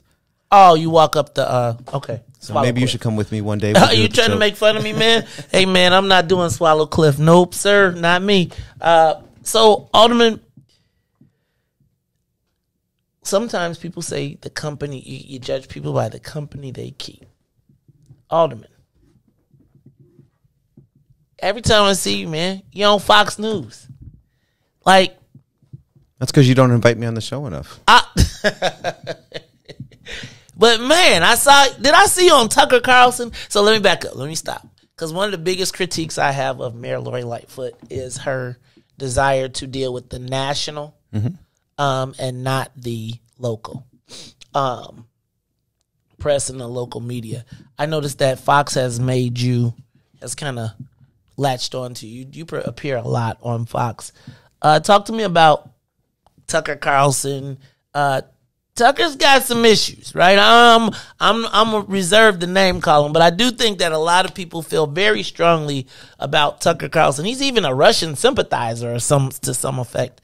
Talk to me. Is that a friend of yours? How does it work? What's going on with the Fox News thing? You know, when it comes to reporters, it's a very dangerous and slippery slope to start picking and choosing which reporters you want to speak to and why. I've never, never turned down an interview request from any reporter, regardless of their affiliations. Okay. Whether they are left, right, center, local, or national. They call, I ask, because I do believe politicians need to be accessible and accountable to a free press so that citizenry can get the answers they want. Um, if CNN had called me, I would have been on CNN. If MSNBC had called me, I would have been on MSNBC. They don't want me. That's their prerogative. You called, I answered. Other radio stations, news, local, everyone, everyone who asked, I answered. Okay, I, I can't. I, I know that feeling, right? I, people tell me, "Well, why do you go here?" or "How come?" It, I talk to the people that will talk to me, and, and my story doesn't change where I go. As long I don't care what the outlet is, you're not going to flip me based on the outlet. So okay, I appreciate that. All right, Alderman, look, let me do this because uh, we're about to. ta- I got to take a break. I've been drinking my coffee. I'm gonna leave you here for a hot second. Riis, play them. See if we got any good Ray Lopez quotes in there. I'm gonna take a real quick break. We're gonna come back and then we're gonna get into. You can wake them lines up because we about to get into some black people stuff. Because I got some real questions uh, about kind of you know some of the policies. You know we got a black people first thing. We we, we got a black people that. first party. Uh, we're organized. You know we got uh, over thirteen thousand signatures for the president. Speaking of that, hey man, so to all of my political people who have been to the classes on Saturday, um, I'd like to point out that Alderman Ray, Ray Lopez turned in 400 signatures for Kari. Now, I'm saying that only to say that a lot of people talked a lot of smack, but did not politics. Remember how I told you how this works, right? And I'm not suggesting that that's the tra- but I want you to understand that a lot of people promised what they would do to help, and y'all know how hard we were going. Uh, and Alderman Lopez, you delivered. Um, you come. I want to. I want to get a little bit to your political roots though, because I do wonder. Like, man, they tell me you was a sky cap. I really want to get a sky cap at Southwest, right? Now you know Southwest is a lot of people's favorite airline around here, so I really want to know Mine a little too. bit about that. Uh, and then how we get the? How do you get the? You know, we're gonna talk about a couple other things, but then also get ready because I want to talk about immigration. Uh, I want to talk about uh, the perceptions of low homicide, um, gangs, crime. We talked a little bit about that, uh, and then we want to talk about this map, right? Because it's a lot going on. It's a war going on outside. No man is safe from. So we got to figure out where you stand on that, who you supporting, where this all thing this thing goes. Look, y'all, it's the Maze Jackson Show. We'll be right back after these messages.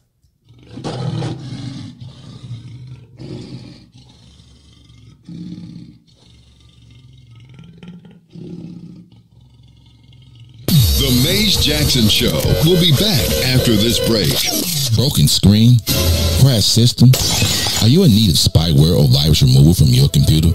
Well, contact RPC Computer Repair in South Shore and let us help you with all your computer repair services and print needs. Need office or print production services, copies, scans, fax, or even notary service? Then stop by and support RPC Computer Repair and Print Shop located 1741 East 71st Street in the 71st Street corridor newly revitalized South Shore areas and let RPC be your one-stop shop where we believe RPC is your PC. RPC Computer Repair is also a UPS access point where you can drop off and pick up your important packages. So let RPC be of service to you. Call RPC Computer Monday through Saturday, 8 a.m. through 6 p.m. at 773-966-4457. That's 773-966-4457. Visit RPC at rpccomputeringinc.com for more information. And now, traffic and weather. Good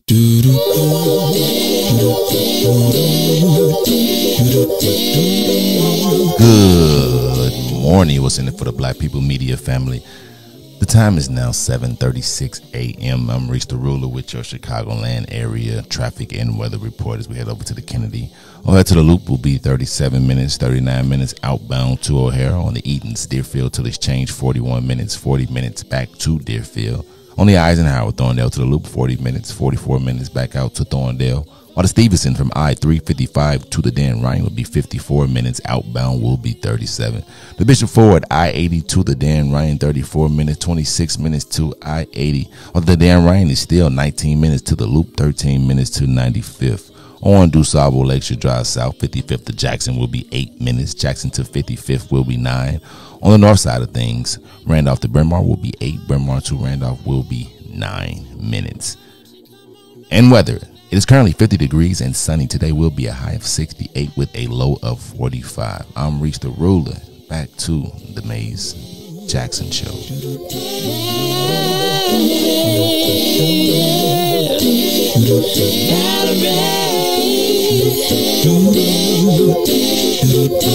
Did you have to go to jail? Put your house on up for sale. Did you get a good lawyer? I hope you didn't catch a tan. I hope you find the right man who'll fix it for you. And are you shopping anywhere? Change the color of your And did you have to pay that fine that you've been dodging all the time? Are you still dizzy? Oh, yeah. Since I come home, well, my body's been a mess. And I miss your ginger hair and the way you like to dress. Won't you come on over? Oh, stop making a fool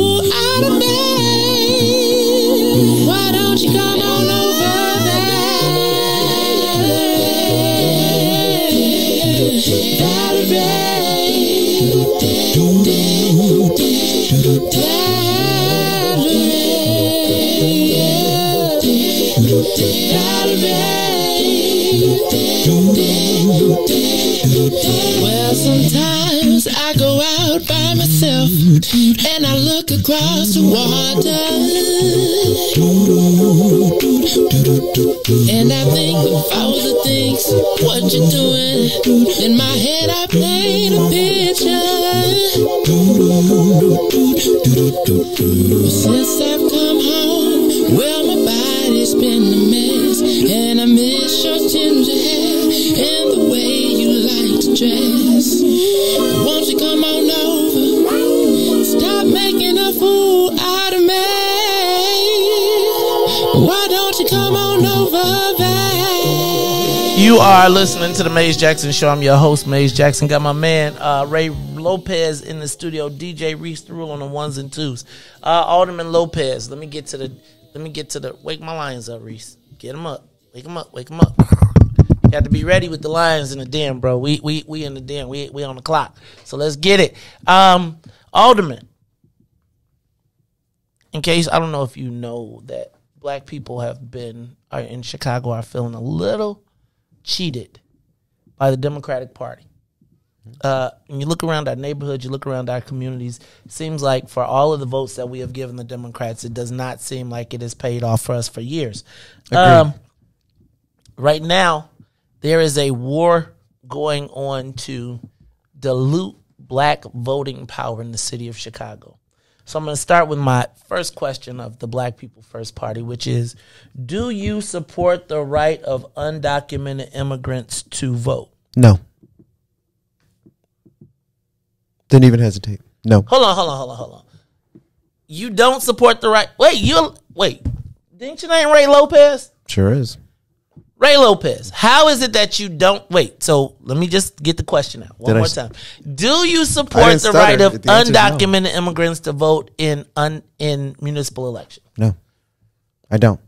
Voting is the right and the reward for citizenship. And citizens vote.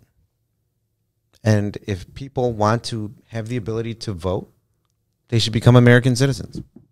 Period. What about the dreamers? That is why the failure of Congress to rectify that situation creates questions like this right now. Dreamers should be able to get a path to citizenship. That is something that many congressmen, particularly many congressmen from Chicago, have talked about at nauseum for decades and did nothing about, failing that community too. But voting is a constitutional right given to citizens of this great country. And that's how it should remain. Okay. Um, what is in it for the black people with Ray Lopez as a candidate? As a candidate, As a candidate, no, back up. and As, mayor. and as a candidate and as mayor, uh, it's my full intention to act on a number of the policies that I have proposed as alderman. Um, most notably, you'll remember, and your your listeners will remember, that I was the alderman who said that we had to expand contracting opportunities to be to run uh, similar to the demographics of the city of Chicago, to have parity with our demographics. So we know that African Americans are about a third of the city. Latinos are about a third of the city. Uh, Caucasian and, and non African American, non Latinos are about the other third. But yet we are stuck at 26 and 6 in the city of Chicago when it comes to WMBE contracting goals.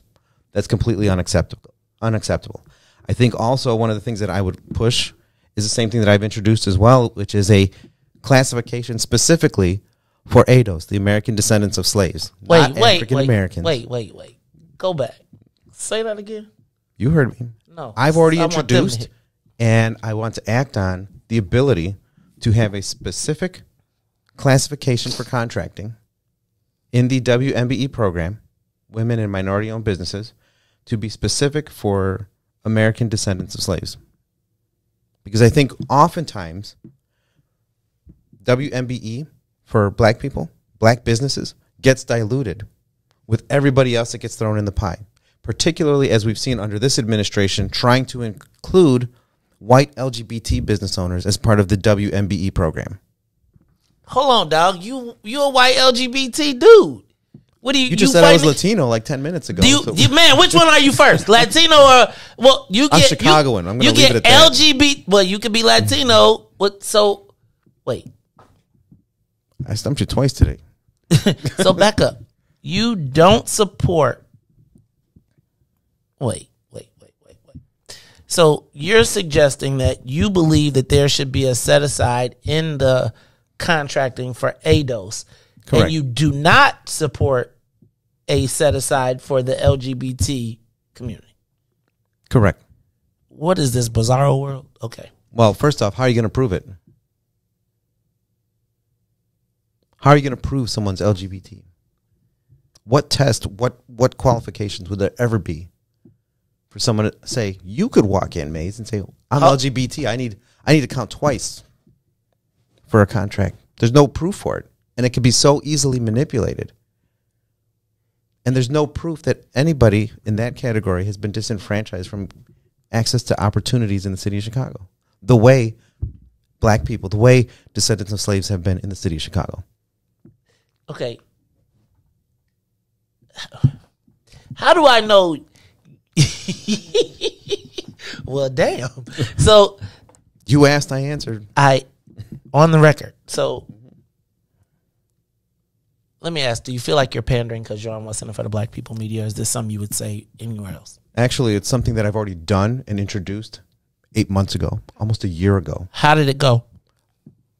Still sitting and waiting for a shot in committee. Who blocked it? Honestly, there were a number of members of the Black Caucus who were not supportive and concerned that my efforts to both create a new category as well as to require parity for contracting would jeopardize the entire program. And the decision and support was maintaining the status quo. There's a mat. There's a battle going on. Wait, there's. Did you did, did I read correctly? You got kicked out of the Latino caucus. No, I quit the Latino caucus. There's a difference between being jumped and pushing, and I jumped.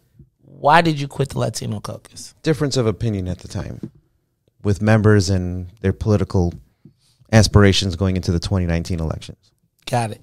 You back? Nope. So where are you on the remap situation? Because it seems like Alderman, just just for tickles and giggles, that to finally when the black people get in charge of the map. Because Dick Mell ran it forever, and then when Michelle Harris gets the spot, and then Pat O'Connor, and he got to negotiate it. Now it seems like nobody cares about seniority. No one cares about any of the other things that we, all the rules that we had to follow getting up to it. Whose map do whose map proposal do you support right now? Well, Maze, I'll tell you that I do believe that the rules have changed under uh, in this cycle um, because nobody does care about seniority.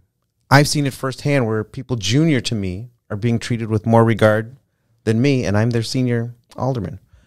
But I support the coalition map. I support the map that keeps neighborhoods together. I support the map that keeps West Englewood together and doesn't dilute the power of the black vote in that community. I've made my thoughts on this well known.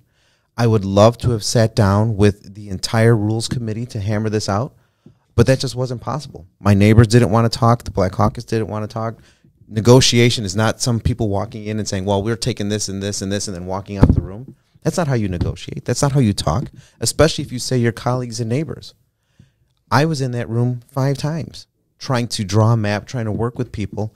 Then nobody was on the other end of that table. A decision has to be made. Now, can the members of the city council come together before May 18th and work this out so that we can come to some sort of uh, compromise? They could if they have the will to do so. And right now, I think that many people are more interested in posturing than they are in actually doing what's right for the city of Chicago. And to be fair, the longer they drag this out, the harder it's going to be for any of my colleagues seeking reelection to know who they represent. Because by the time that referendum vote is over in June, they will have barely five weeks to meet their new residents and go ask for their their support, signing their petition to run for alderman again. So Alderman, is it safe to say that one of the reasons that I've heard you're running for alderman is because you don't believe you can win in your new ward, in the ward that would be drawn for you. Is that is there any truth to that? Absolutely not. I think I would have been alderman for another decade if I chose to stay there. I'm running for mayor because, in my opinion, no one shares the same vision, passion, and awareness for what's coming down the pike as I do. I could easily have been alderman for a decade, pointing my finger at the mayor's office, whomever that may have been, sitting in that chair, blaming them while cashing my check for the next decade. I could have done that, but that would be a disservice to my city, and I would not have been able to live with myself. So I'm throwing my my name in the ring because I believe in my city. I believe in my abilities to save this city, and I'm putting it quite literally all on the line to do this. Man, that's a lot. This isn't a safe run. So now, let me ask you this question: What do you see as your path to victory? Um, let me see. Let me say, first of all, and I'm, I obviously don't want to probably speculate. So right now we got, let's say the mayor, let's say you, we got Willie Wilson. We're, we, we're hearing Quigley is probably going to throw his hat in the ring somewhere in that space. And then there's another tier of can, care, uh, candidates like Kam Buckner, et cetera. Um, let me, first of all, how many people do you think are going to jump in this race? I think the level of dissatisfaction with the current administration and the individuals who know that we have a weakened incumbent mayor right now, you could see anywhere between 10 and 12 candidates in this race. Does the mayor make the runoff, you think? That's questionable at this point. Who's your base of support? It seems like um, it seems like you would. Well, no, you tell me who's your base of support. Do you think? Where do you start? I think most people make a lot of generalities when they think who I speak to and who supports me. Um, but it has been my experience over the last several months and indeed over the last several days that my message of restoring safety in the city of Chicago, of taking ownership for people's safety and every resident's safety in every community, resonates all across the city of Chicago. Whether they are black, brown, white, or some shade in between. It resonates with everybody, not just the Southwest side, not just cops and firemen. It resonates with everybody who wants to be able to come outside of their homes without going home with a bullet in it. Okay, yeah. So I just want to point out because everybody's looking at you read the paper. There's literally 12 words on the paper. There's like li- there's literally 12 words on the paper. I really want you just to hold it up. Just show the people. It's like literally 12 pa- 12 words on the paper. Um, so I don't know that he's necessarily reading. I think he's probably trying to get his keywords locked in. All right, um, Alderman, man, you you've come in here and thrown me off a little bit. Do you want to take any calls? You nervous to I, take any calls? I've never shied away from calls on this show, and I'm not about to start now. Well, on that note, we're going to open up the phone lines. Give us a call, 872-259-7474. We got Alderman Ray Lopez in the building. Look, damn, look, damn. Now, Blank you gotta page. Get that on the way out. I'll pick it but, up. look, look, I'm like, look, he tried to do the Jamal Cole on me, right? At least he didn't bring yellow tape. All right, we're going to open up the phone lines. Give us a call, 872-259-7474. Let's talk to uh, Alderman Ray. We're going to be talking to Alderman Ray Lopez. Call him. What you got? How you doing, man? This is Tyrone Muhammad. Tyrone. Good morning. Morning. Good morning, Alderman Lopez. Good morning, Tyrone. How are you? It's interesting. It's interesting to hear you talk about a lot of the issues that affect our community, black people, and um, I'm very, I'm very surprised um to hear you, and it's my first time really getting the opportunity to listen to uh you, your philosophy, your concepts, your ideologies around uh, proper governance, right? My, I have a couple of questions Okay. and you just mentioned public safety, and and I want to know your take and your views on the formerly incarcerated prison reform. Since I spent over two decades with black and brown bodies in prison, and from the space of violence prevention, reentry, mental health and social services, even substance abuse counseling, ex-felons are on the front line of reducing a lot of or preventing a lot of the violence that we see in these communities. Mm-hmm. Yet we don't receive the same respect, nor do we receive the same benefit, nor do we receive the same resources as policing, meaning that how do you fund response with two billion dollars and continue we continue to ask for money for policing that has improved or served our community effectively, then you we can't justify equal resources for prevention. It's unacceptable to me that we have an eight hundred million dollar county jail budget. Ty. A, a, a one point six billion dollar I get it, a one point six billion dollar uh, uh IDOC budget and, and for our community we don't have the same resources to prevent violence. That's one question. One more man. And what do you see and how do you Hold on. What the next question? How do you see um, your administration dealing with uh, the, the the high unemployment rate in African American, I say black community? Um, and I, I, I I listen. Thank you. Thanks, Ty. Go ahead. So, Tyrone, first off, thank you for the questions. First, when it comes to the violence prevention programs and funding, you know, historically, it has been politically sexier to invest in police than it has been to invest in violence prevention. We know this. And even some of the increased funding that uh, this administration has done towards anti violence programs still pales in comparison to what we do in terms of reaction as opposed to being proactive in stopping the violence in our streets. I'm a firm believer in many of the anti violence programs that are out there. And I believe that we should be able to fund and expand opportunities, particularly for those who are ex offenders, who are returning citizens, who want to make a new path for themselves and keep people out from following in their footsteps into prison. But you have to be able to, one, fund it, and two, you have to also provide metrics for success because there are a lot of organizations out there that take money for anti violence that do nothing with it. And those are the ones that we call the grief peddlers and poverty pimps. I think I've said that before on this show.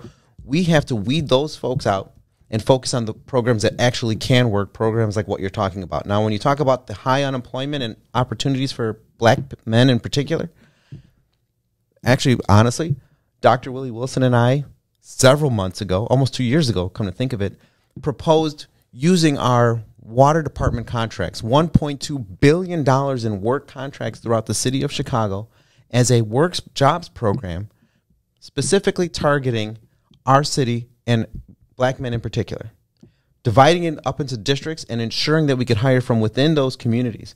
The city of Chicago spends millions and billions of dollars on all kinds of works projects throughout the city, whether it's repaving, whether it's lighting, you name it. There's no reason why we can't require either by zip code or by region employment of our own city employees so that you don't constantly have the folks from the suburbs or Indiana coming to do work and getting paid by the taxpayers of the city of Chicago. All right. Hey, man, that's Alderman Ray, Ray Lopez. We got another call on the line. Calling on the Maze Jackson Show. Yes, this is Ray. How you guys doing? What's up, Ray? Great name. Hey, listen, I got thank thank hey Ray Alderman. Yeah, I got a question. Ray, I mean Alderman Lopez. I spoke with you. We did a Zoom meeting back in July, and it was about a crime prevention program that I had designed called the Formula. But we talked about frontline cover two. It's a um a three tactical level policing strategy. I want to know. You probably don't remember that, but I want to know what was your thoughts on that because I never got a chance to um, get a response after the um, Zoom meet. And then the other question is, with the uh, no representation population, um, we didn't count the um, ex-offenders um, in the census. So what we wanted to do was get a recount with the Census Bureau. Would you had um, would you had um, granted permission for a complaint to be made with the Census Bureau to get a recount for those um, convicts? I mean, ex-convicts could have been count could have been counted on our Census Bureau, and then that way we wouldn't have problem with the mapping that's going on. That way we could have got resources um, in, in, inside our inside of Chicago. Would you have, would you have been one of the people who signed that complaint have that uh, count questionnaire redone? So, Ray, uh, first off, thank you for the two questions. One, I do remember that meeting, and I am always wel- welcoming of new ideas, and we can continue and push forward.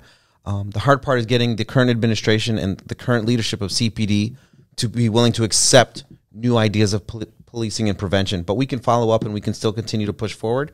More importantly, as mayor, you already have that introduction, we so we could bring that conversation back.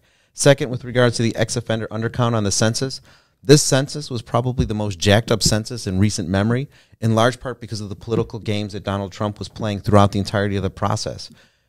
I would be willing to support the complaint uh, to have the undercount issues addressed, but I also know, and I will say this out loud, I also know other communities feel that they were undercounted as well. So that doesn't necessarily mean there's going to be a surplus of new black residents only included if the undercount were to be reevaluated. All right, uh, I'm gonna take time for one one more call. Look, y'all, uh, we gotta say thank you to everybody from WBGX. Man, y'all, y'all gotta give everybody an opportunity. I know y'all want to get all y'all's in, and everybody feels super, super, super, but like that was two calls. We could have got like ten. Caller, you on the Maze Jackson show. This the last question. What you got? Hi, good morning, Maze, uh, and good morning, Alderman Cecilia Butler, Washington Park. Hey, quick question: Butler. What? Thank you. What is the what is your position, Alderman, when it comes to uh, the free cameras that the uh, mayor says that she wants to provide to uh, all households? Uh, dealing with uh, catching crime because we do know the only crime that's been caught has been on the camera. Thank you. Thank you, Cecilia. I love the idea uh, of cameras and rebates for Chicagoans that the mayor proposed. I loved it so much, I proposed it six years ago, and I proposed it again three years ago. And I'm glad that she's finally, finally acting on what I proposed and suggested to her at the beginning of her term. We have to make our neighborhoods safe, and criminals will go to the areas where they know that there are fewer cameras. And if we have communities and block clubs that have posted signs saying that, that this is a, a, a recorded zone, criminals are going to go elsewhere. So we could have executed this years ago. Um, my hope is that we could get this off the ground fairly quickly, uh, and that we don't turn this into a backdoor uh, patronage scheme for someone's friends who's going to monitor and control this contract. Hey y'all, this is the uh, Maze Jackson show. Alderman, I'm gonna give you an opportunity to close. I know you have um, been here for an hour, so I appreciate that. Tell us, uh, give us a wrap. You know, thank you, Maze, and I want to again thank Riis for all the lion, the Lions Den, um, and thank your callers for listening and watching. Um, I'm running because I love our city. You love your city. We have problems, but we can work through them together. I have a track record of working with not just my community, your community, and many communities. That's proven. That's leadership. That's what I bring to the table. I'm never going to stop being Chicago's biggest advocate, and I'm never going to make apologies for my passion for every neighborhood in the city of Chicago. We can do this, and I'm asking for your help in the months and years to come. All right. And you can visit me at raymondlopezchicago.com. All right, y'all. Hey, remember the people who stopped in? Uh, he answered the question straight and direct. Um, and so, Alderman, I'm, I'm gonna wish you luck. You know, we Willie Wilson, man, he's like affection. We got a lot of affection for him.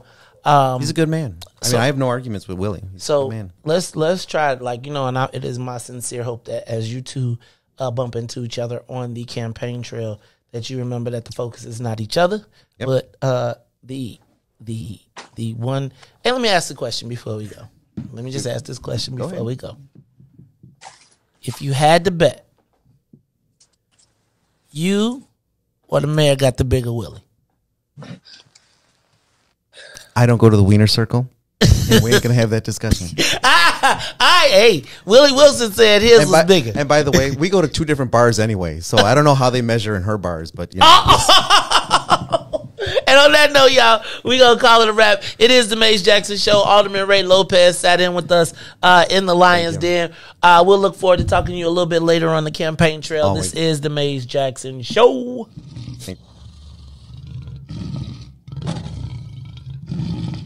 The Maze Jackson Show will be back after this break. Maze Jackson.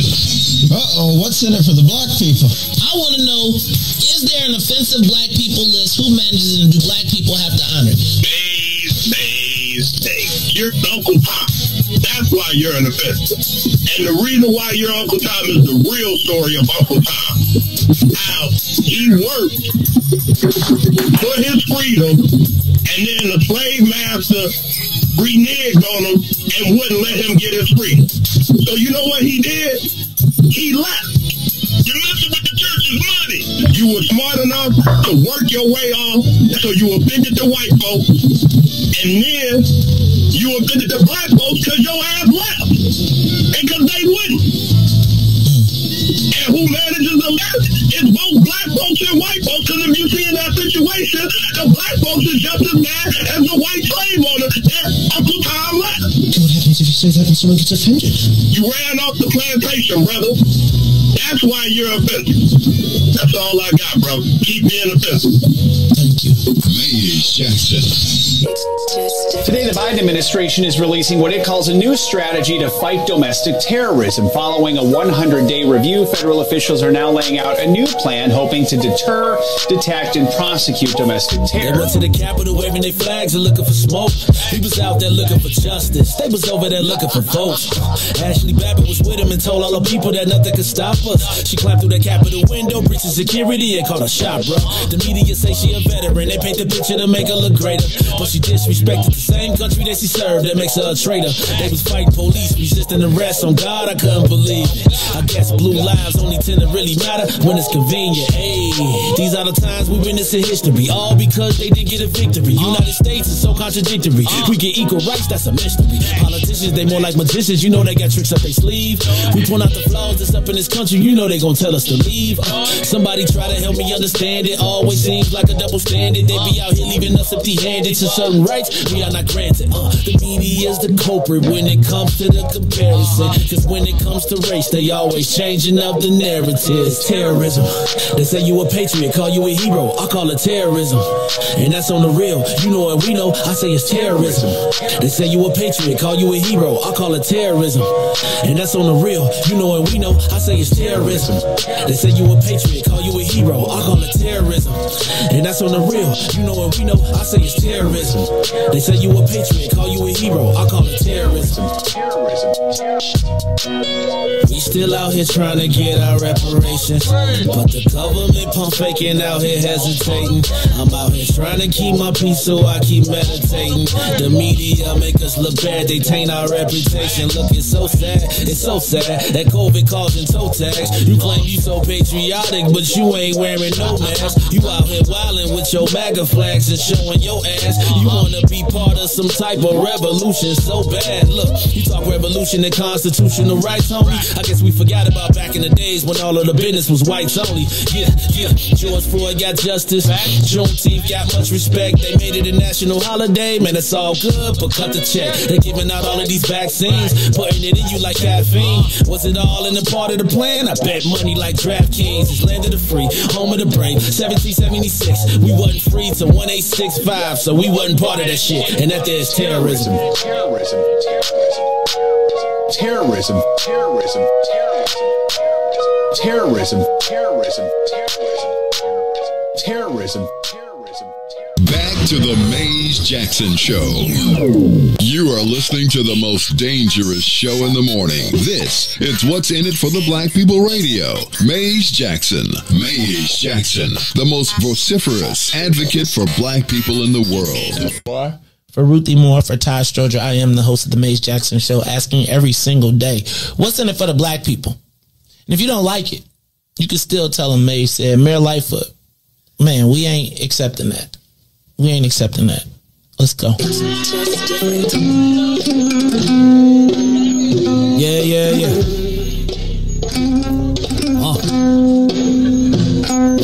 Down to business and go ahead and address the facts, man. Lightfoot seems more lesbian than black. Rahm Emanuel's another case. He was just as tired. 50 closed schools left much to be desired. Police had Anjanette naked on that body cam. They suppressed the footage so it couldn't touch a lot of hands. Reminds me of that 16 shots in that cover up. Both of them similar, so I went and dug it up. George Floyd killed, a lot of riots happened in the town. Southside burned and they wouldn't let them bridges down. Grandmother sick, need a prescription and plus a couple groceries. You gon' have to travel just to get it now. COVID 19 out here shutting all the business down. Not enough SBA loans to even give around. So many failed businesses that you can put them in the pile. If you don't survive the pandemic, it's gonna sit you down. We sing, dance, play ball, entertain, and crack jokes. Government infested black neighborhoods with crack smoke. System that milked us so bad, we got lactose. Still trying to find out what's in it for us black folks. We sing, dance, play ball, entertain, and crack jokes. Government infested black neighborhoods with crack smoke. System that milked us so bad, we got lactose. Still trying to find out what's in it for us black folks. Shout out to Willie Wilson, hope one day you get to send it.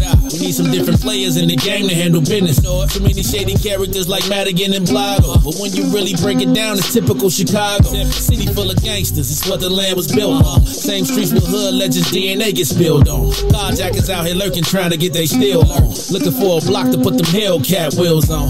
Let this give bogus appraisals a red line. Car crackers out here getting minimal fair time.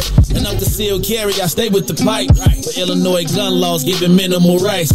Stay up on the swivel, make sure I'm moving tight. Check all of my mirrors when I pull up to the light. Pick my homie up from out of town, man, he caught a flight. He was hella nervous, told him, shorty, this is a way of life. We sing, dance, play ball, entertain, and crack jokes. Government infested black neighborhoods with crack smoke. System that milked us so bad, we got lactose. Still trying to find out what's in it for us black folks. We sing, dance, play ball, entertain, and crack jokes. Government infested black neighborhoods with crack smoke. System that milked us so bad, we got lactose. Still trying to find out what's in it for us black folks.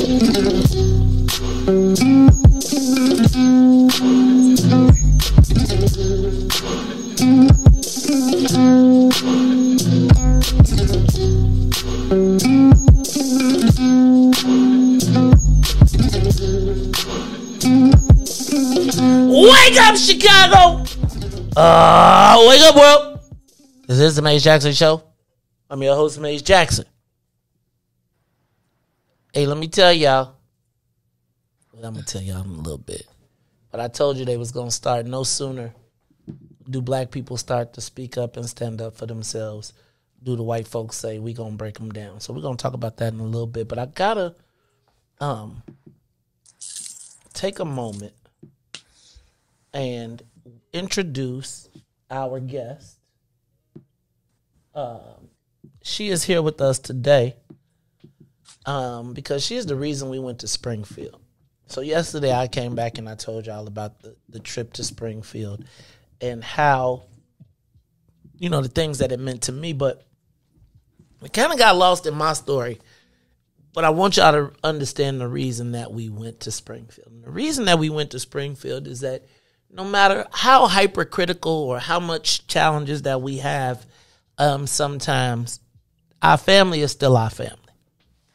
There's certain things that we just can't have happening. And I recognize that right now, sometimes, you know, we are a little bit frustrated with our elected officials. But when we heard the story of six foot five white Steve Reick, the alcoholic, and his assault or attempted assault, the fact that he walked up on Representative Lakesia Collins, got in her face, had to be restrained, told her to keep his her name out his effing mouth. And I just couldn't help but think like, where they do that at? And I was thinking how bold it is. And so we all mounted up. The reason we went to Springfield was because we went to be in solidarity with one of our sisters. Period. And black folks got together, mobilized, bought a bus, did what it was necessary to demonstrate to the powers that be that we just ain't having it. And I got to tell you, one of the proudest moments in our in my personal political history was to be our efforts to be acknowledged from the floor. Um, here today to talk to us, though, is the reason that we went to Springfield. Uh, in case y'all did not remember or don't remember, she came to talk to us about what happened, and she hit me up yesterday and said, "Yeah, I just gotta take y'all. I got I, I want an opportunity to tell the audience thank you." So, uh, family, with us today is State Representative Lakesia Collins. Hey, Riis, give her a round of applause because that sister stood up. Uh, and I know what it had to. I, I sometimes I know what it's like when people at you, and you got to have your cousins. But l- y'all, welcome our cousin, uh, State Representative Lakesia Collins, to the Maze Jackson Show. Welcome, Representative. How you feeling this morning? I feel good. How are you, Maze? I'm great, like Tony the Tiger. But I'm just telling you, these white folks has got it in for me now. They a little upset. They a little bothered that that we that we we we not we flexed on them, but that we just said we wasn't having it. But talk to me, sis. What's going on? How's everything? We didn't get you in trouble in Springfield, did we? What's trouble? I'm elected by the people, the people I serve, so I'm not worried about anything outside of that. Um, but I just wanted to say thank you, thank you to um, Black People First, New Era Chicago, What's in it for the Black people. You just giving me an opportunity to share my story and hear it firsthand. Um, I felt really empowered when you all showed up in Springfield, all Black. I mean, unapologetically Black, just strong, and I I felt really really good. And so, um, man, just thank you, thank So- you for that.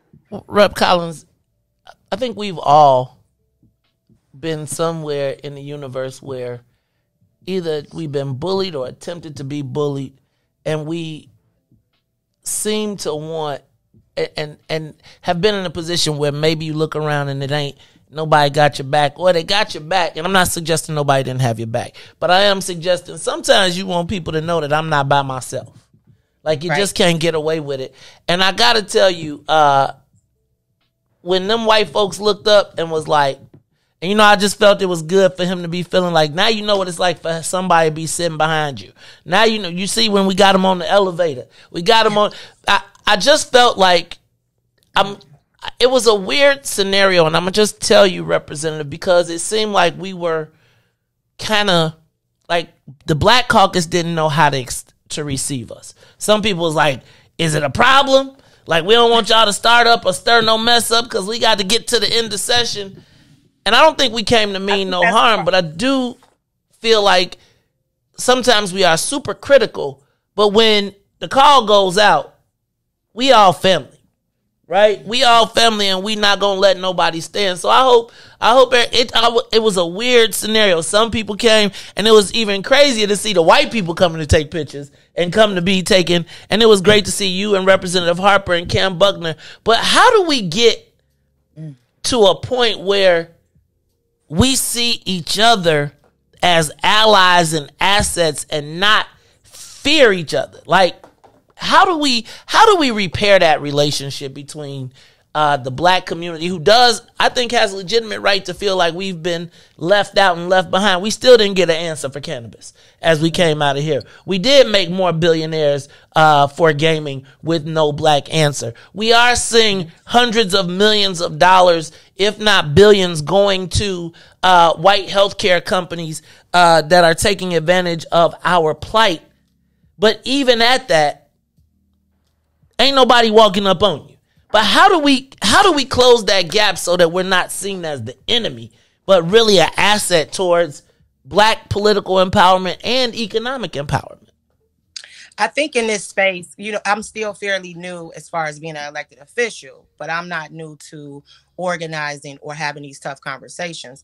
I think in the black community, and what I've heard when I got there is that you do have some black elected officials who feel like they're not supported, right? And if they take that step and they're radical and they, you know, um, say everything off their chest, that they're going to be retaliated against or they're not going to be perceived well to you know certain folks. For me i'm black.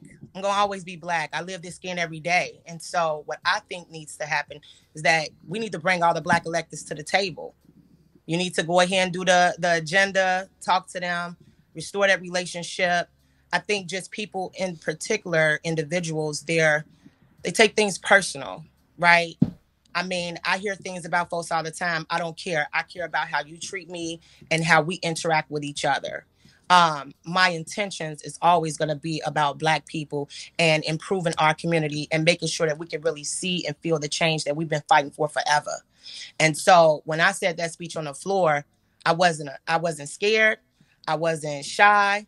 I didn't have to think twice about it. I wanted to make sure that Black folks who took time out of their busy days to show up in their capital and i say your capital because it is your tax dollars right um that they were welcomed and so you know me and you don't know each other like that maze but i told you before i've watched you since i was a cna when you were on the radio listening to you um and just to now see like what you have done with creating this space for black people to be proud to be black um, it's amazing, man. And I definitely want to be a part of it. I, I definitely think that you all showing up, it gave Black Caucus members, Black people in that building from the workers on up, it gave them a sense of empowerment. And that's what we need. We have a fight ahead of us that it ain't to get solved overnight. But I think this is just the beginning. And there's so much more that we can do. And so I'm okay with being held accountable. I'm okay with having those conversations. Um, we need that especially in Springfield. And so anybody who knows that environment, you know that, you know, we need to be, you know, on our toes. So I think we just need to have a conversation, repair these relationships, you know? Well, I'm here to tell you, um, we cannot, we cannot let our ecosystem um, continue to falter. Uh, the world has changed. I'm looking at what's happening with uh, Representative uh, Harper, and just thinking to myself, look, y'all, we gotta be. Ain't no Calvary coming to save us.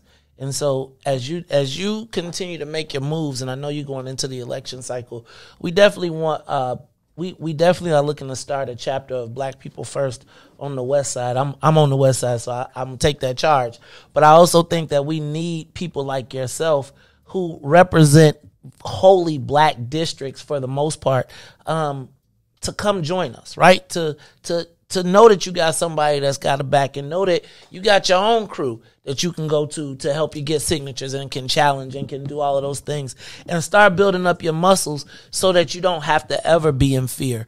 Um, I thought it was poetic that uh, old Steve O uh, had a little run in. Um, He walked up to me again. I told you, right? wait, no, he what? Yes. Right What? before um right before Oh, see, he's there. Whatever, whatever happened. Hold on. Whatever happened. So uh, Rep Nichols was sitting next to me, and he walks up to me and he says, um, and I'm sitting down, mind you, and he's like, "There's some people down there." With signs up with your name and my name on it. And I'm like, uh huh. And he was like, Are you going to go tell them to take it down? I said, You want me to tell black people that they don't have a First Amendment right, that they can't, you know, congregate in their capital? And he was like, I thought this was over with. I said, I mean, not really. People are still a little bit upset about what happened. And so he was like, So you're not going to tell them to stop? I said, No, but I am going to introduce them in the gallery. And so he was like, Okay. And he walked away angry. But I mean, He was a little overserved when we saw him. Do y'all let them people go on the floor drunk? Did you know? You know that the uh the uh the the minority leader called us over too. Like, uh, could we could we please? We here for our sister. I don't think anybody has ever seen anything like that before. You should have. Right. Well, he had him in the circle.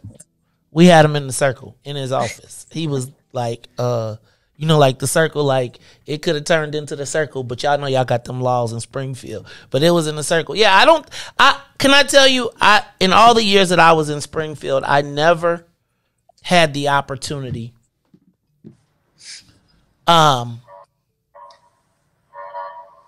To see black people in a position of power. And I'm going to tell you from my meeting with the speaker, who I never thought that I would cross the threshold of that door, much less see a black man.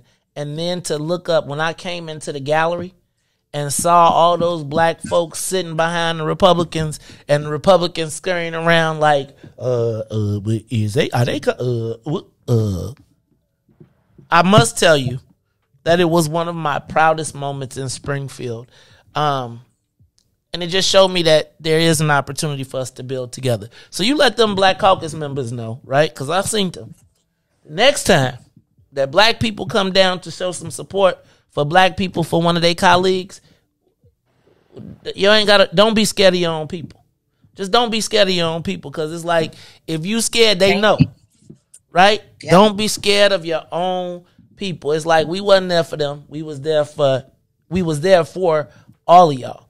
Cause if it would have happened to any single one of them, any one of them, we would not have accepted it. Right? So if they don't want us coming back down there, then they better he bet well he ain't coming back no way though, cause he already was doing his thing. Like, uh, yeah, I think after does he have an opponent? Cause we might have to send some cars I, out I there. I think so. I'm not sure. I'm not sure. Well, let me tell you this, Representative. Um, if there's anything that we, if you ever can be, if we can ever be of assistance, then let us know. Uh, I plan to be back down in Springfield a little bit more often now as well. So, hey, help a brother out because you know office. I, I, I need a I need a place because you know I'm trying to come back and get back in the game. I've been out for so long. It's like I'm trying to. It, there was a, an exhilarating feeling that I had walking in that Capitol, um, and then to see all them black lobbyists where I used to be up there and there was none, um, and to know that black people could have our back. Right, we ain't got to be down there by ourselves. So look, Representative Collins, what you got? It's the summertime, so hey, uh, can we count on you to be one of our Black People First members on the uh, West Side? You gonna help me charter this chapter? At the beginning. I Okay, you so- I, I want to be a part of it. All right, so well, you're gonna be a leader of it because we got to get us a West Side chapter together. Uh, so look, I'm gonna reach out to you and we're gonna get that started because the summertime and then you know you got a campaign. So since you got a campaign going on, it'd be don't have- perfect well. I do have campaign. Well, I'm unopposed, um, but I'm So the- still knocking doors. And I'm I know. So you gonna you gonna build your mob up then. We're gonna build us a West Side mob, and then you gonna have your team, and we gonna be straight. Look, y'all, it is Representative Collins. Hey, what what big legislation? What you got? What did you tell the district? Cause you from the West Side, you know what I'm saying. So what did you do? You got anything So- good? What's your big one? it's a lot of things that I've done. Um, I'm really proud of a couple of initiatives that I personally introduced off um, reforming DCFS. That's a big thing, um, especially with the fact that we have a high percentage of Black, you know, youth in there who are just sitting there um, with no placement or being re-traumatized, and so um, that's something that I'm really proud of this session. The relief um, within the budget that we were able to pass. I feel like we could do a whole lot more, but I think we could probably just talk and dissect that um, at another time. Um, yeah, like I said, I'm unopposed. Very grateful for that. I want to continue to do the work that I've been doing since I got in. I want to continue to build on the West Side. Um, and I want to continue to be accessible to folks. I don't want this to just be like, oh, she's new, um, and that's why she's doing all of these things. No, this is who I am, and I truly care about the work that I'm doing.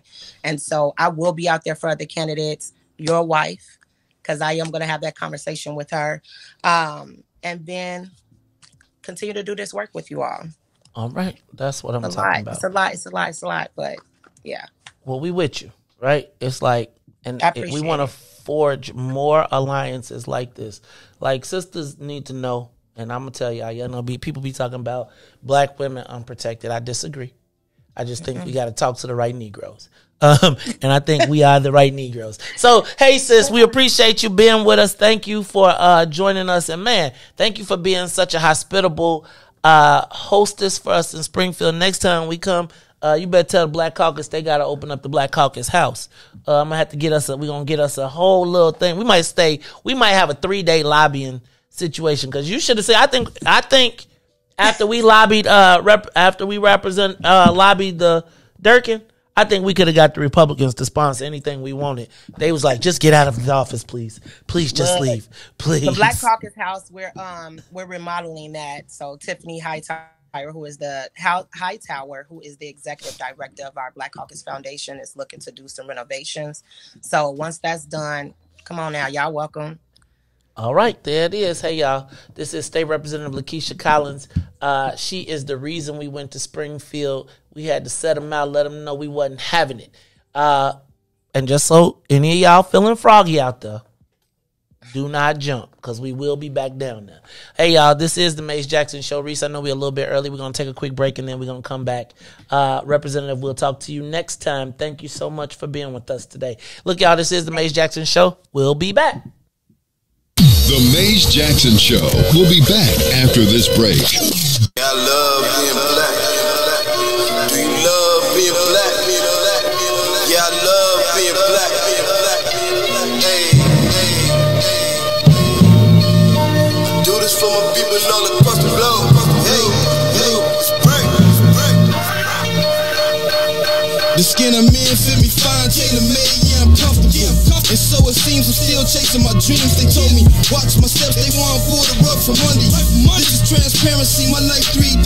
You live every word that I utter, reporting live from the gutter. Where the mind's hard to change, but we don't give up on our brothers and sisters. Cause we all need one another. The time's getting closer, revolution, feel it coming. I can smell it in the air.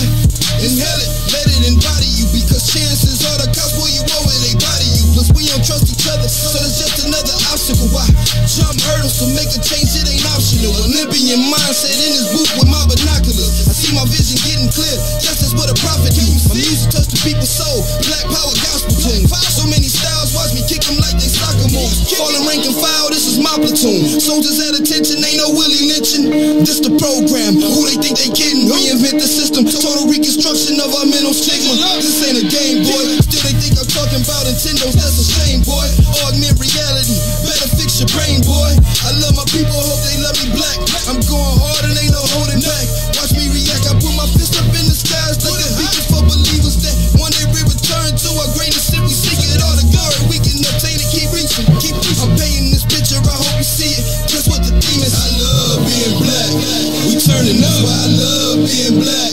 Say it loud. Man, I love being black. One more time. I love being black. Hey, hey, hey.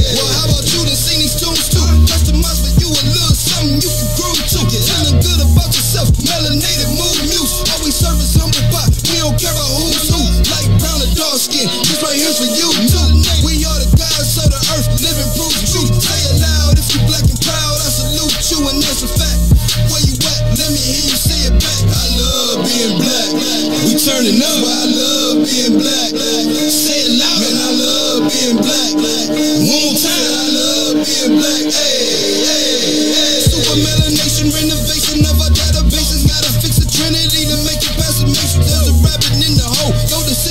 just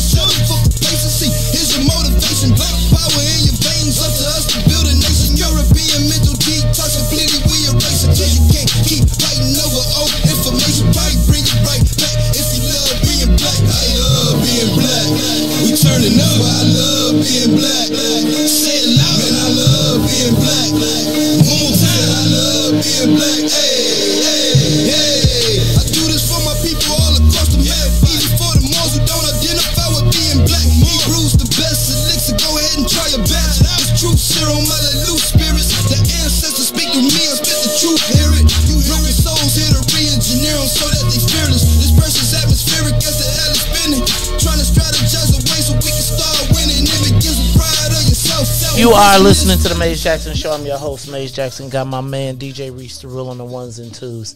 Um, it is yes, the Maze Jackson Show.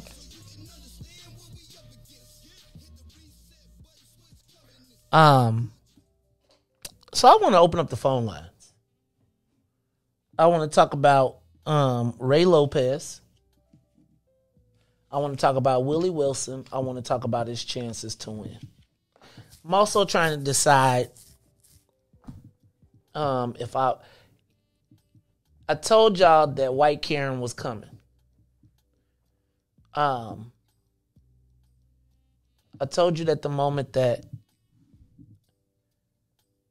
there was the presumption or the assumption that there could be black unity, black power, black power meeting of the minds, that they would come. I didn't know they would come this quick. But they come. So yeah, I'm a I gotta do a little thinking and then I'm gonna decide whether I'm gonna talk to y'all about it to I'm not gonna talk about it today, I'm gonna talk about it tomorrow. Um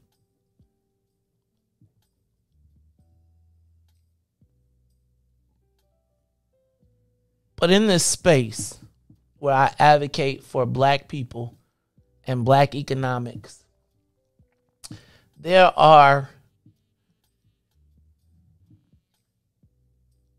ang- I have been uh, in in times angered progressive white women who feel that they are the only people that can make money. They are the only people that have the right to participate. Um, and I and I, I quite honestly, I take offense. And so, to the white publicist that decided that you were going to try me, we're going to open it up. See, I'm not to, you're not to scare me. Um, it's always crazy to watch the white women who purport to support black women try to undercut them when they don't do what they say. So I'm gonna talk to y'all a little bit later, but um, I think it's important that we recognize the timing of what is happening right now and what will be happening over the next few months. And so I'm gonna just tell my soldiers that we are ready. We're gonna have to get ready for some war and war games. Let me also say, um, black women, I'm gonna need some aid and assist. Cause you know when the white women decide that they're going to put the black man under, they usually try to get a lynching going. So I I think we need to make sure that we sit down and we have a conversation because I'm gonna be I'm gonna be honest with you, right? See, the way that they have operated in the past is that there is an existing network of white progressives who operate in a self-righteous manner but do as much damage and harm to try and hurt black folks when they are not submissive or do not bow down. And I will not bow down. As I have said on numerous occasions, black opportunities for black people are just that. So if if your offense, because four years ago I told you that I shouldn't get a press release from the Black Caucus from a white woman, and you have held that, and so you decide that you want to go and try and create stories. Well, sis, I'm gonna tell you, I'm not gonna be quiet. I'm not. I'm gonna name check you. And all the places that you get to operate, we gonna be right there with you. See, I'm I have decided that I will not be a victim. I will not. I refuse to be a victim. Um so Madam White Publicist, you opened it up. We shall continue. But I told y'all, you know that part of this game is they've been trying to draw me in, right? They've been trying to draw me in. They trying to trying to make me blow. You know how the, the answer is make him blow is cool. I don't want the white lady to be comfortable no more though. She shouldn't just be able to walk through the black neighborhoods like that. Right? Not without having the answer. You don't get to just pretend there isn't don't make me hmm.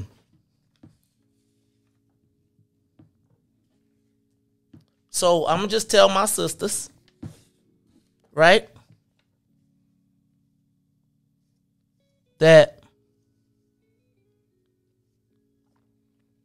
hell hath no fury like a white progressive woman who ran into a real black man who is unabashed about his ability. You ain't my I don't need you. You ain't no benevolent. You cause you help somebody black don't mean that you get to walk around and be like we all we So And I'm gonna tell you, a lot of people were telling me, "Man, Maze, you should, you should, um, bow down to her. She's gonna use all the, she's gonna, she's gonna, she has all the press relationships. So, the the white media is going to." One of the things that I've always tried to do is be honest with you all. Um,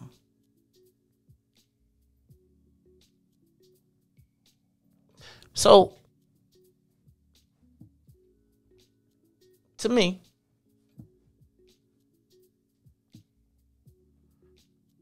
white people feel like they get to operate with impunity in our black communities. And then try to play stupid like they didn't have anything to do with it. Now, I know who it is, and we know who you are.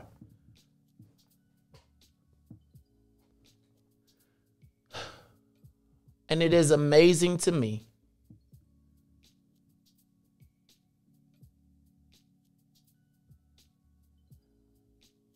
I used to, hey, Riis, it's a song in there. It's by Kool & the Gang. It's called Joanna. See if you can get me get it under underneath. So I'm gonna tell y'all, um, going starting now, I'm going to be under full on assault by white liberal woman who is upset because I said that black opportunities should be created for black people with black companies.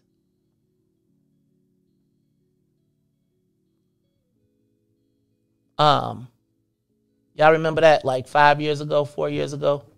I got a press release that told me about black people, what black people needed to do from the Black Caucus, and it told me to call a white lady if I had questions.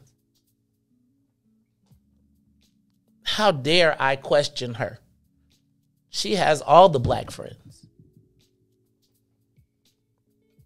Do you know how many black people I've helped in my life? This is my right. I am not going to apologize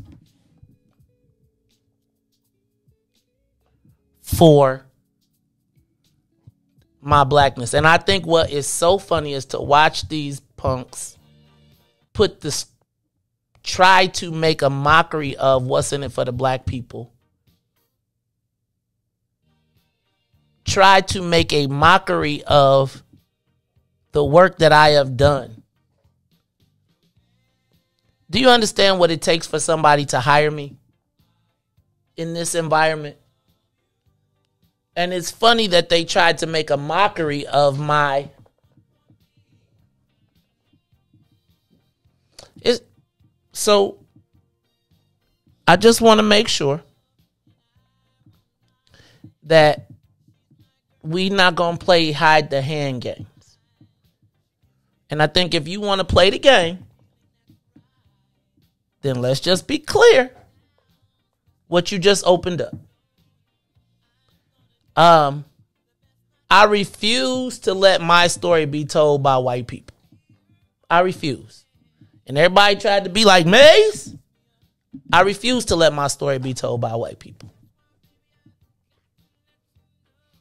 Because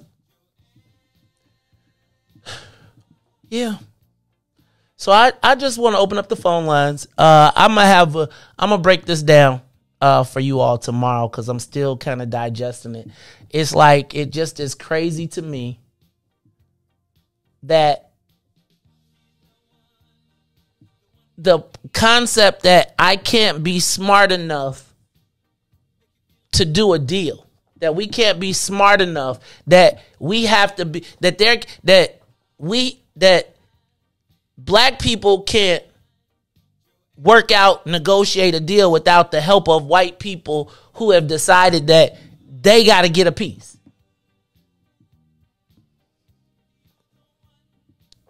So tomorrow we're going to talk a little bit more. But I want to talk today about what happened. Give us a call 872-259-7474. Willie Wilson running. Um you got Ray Lopez in the race. I just want to know what y'all think and then I want to um I want to I want to talk. It's the Maze Jackson show. Caller, you on the live line. What's up? Hey, good morning, bro. Good morning, James. How you feeling, you man? I can hear you. What's up, Big you feel, James? I'm good, man. feel? I'm good. I'm good. I, hey, look, man, I, I'm I'm just gonna keep it real, man. Um, I was on hold when when um Alderman Ray Lopez was on, on your uh, on your show, and to be honest, I was ready to call in and tear into this guy, man. You know, because you you already know how I feel about him. So I see him on, on Fox News, and I asked you a, few times, man. You know, is this your guy, man? I didn't call him snakes and all types of, you know, unpleasantable things. But to, to, to hear his stance when, when you asked him a question a question about um, undocumented immigrants and and he brought his, stance on ADOs and, and contracts, I was kind of I was kind of surprised. 'Cause, I mean, a lot you can't get black politicians uh, to answer to be forward with the, with their answer without going all around and coming, you know, trying to justify why they got to feel this way or you know, we it's about everybody. But he was point blank in his answer. And and the thing about um, set aside when it comes to the gay community, I was really surprised, honestly, on his stance when it comes to. So James, I'm gonna say this, right? Hello? I'm here. I'm here. I'm gonna tell you. Um, Oh, oh, okay. I so it's weird because I know that don't keep you keep them, keep them. Don't hang up on them.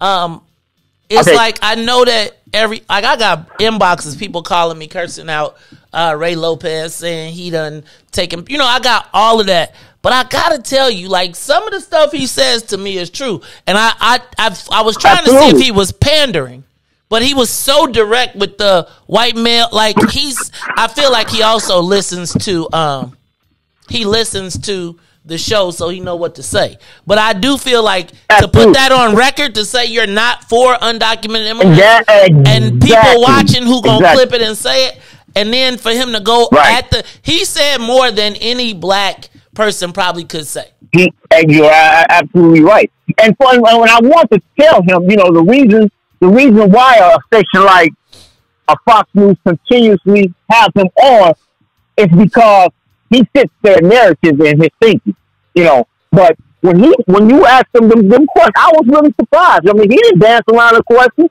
You know, he, he stood his ground. And like I said, it's a lot of black politicians that would never take that stance to a question like that. And for him to, to take that stance in the gay community, I was I must say I was I was surprised, man. Honestly. So yeah. He, he blew me say. when he said, "What's the test?" That's when he blew me when Yeah. he said, "What is the test?" All right, y'all. Uh. Thanks, James. Okay, bro. I appreciate you. It's the Maze Jackson Show. We got anybody on the live line? Caller, give us a call 872-259-7474.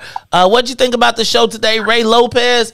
Uh, he said some pretty bold stuff. I know y'all feel a certain way. You know, some people say he be dog whistling, but he did not waffle on two of our issues. And he's actually. Did you see this dude had a law had already proposed a 80 ADOS uh, ordinance? Okay, caller, what you got? Shalom, shalom. Had to call back again. What up, Israel? Um, you said something about the white lady trying to control you or something about black people can't think for themselves. Uh huh. They go back to slavery and their Sunday worship. You know, slavery, black people couldn't have church on Sunday without a white man in the midst. Did you know that? I did not. Okay, black things ain't no man. That's what I'm trying to. That's why I'm just giving you milk slowly but surely. I ain't, I ain't gonna over, I ain't gonna force no T-bone steak down your mouth. A lot of things you didn't know. I understand. And uh, a, a good friend of mine, Mr. Stanley Moore, told me that a while ago when they were proposing that um LGBT stuff. He said, "How can you prove you that? Man, But you got to go work under the desk and put it on camera. Hey, that's a game they running on. Hey, Israel. I, you you went. I'm just keeping it real. I'm finna, I'm finna give you some chopstick. I ain't gonna give you T-bone yet. You can taste it with the milk. All right, there it is. That's You do know. You do. Israel. That's two days in a row. He done got me. He got me back twice. Yo, man, I just feel like um, I, I now I, I bet you you asked I, if Willie wasn't in the race. Would you even consider Lopez Ray? Uh, Riis, Riis, would you if Willie wasn't in the race? Would you consider Lopez? When you listen to him, would you have even considered him? Oh yeah, man, he had some real good. Riis, we know Riis, but you you still back in the slave catcher. Uh, nah, nah, man. He told you, man. I'm I'm for different, man. I told you, I need to, you know, I mean, you hire the wrong people in there. So, like, you know, he was talking good, but you know, I'm definitely for Willie. He got my, he got my votes already. Willie Wilson, he gonna be here tomorrow, seven o'clock. Riis, you think he gonna bring us breakfast? Probably not. He probably know. gonna just he be like, eat these dollars. Oh, hey, Take some of this money. you know what? That's fine. I buy my own damn breakfast. I couldn't buy y'all lunch, but here's a hundred dollars. You make sure y'all all eat good. You right, Willie? Thank you. I appreciate it. So I know it's a lot of people that don't like Ray Lopez, but I feel like uh,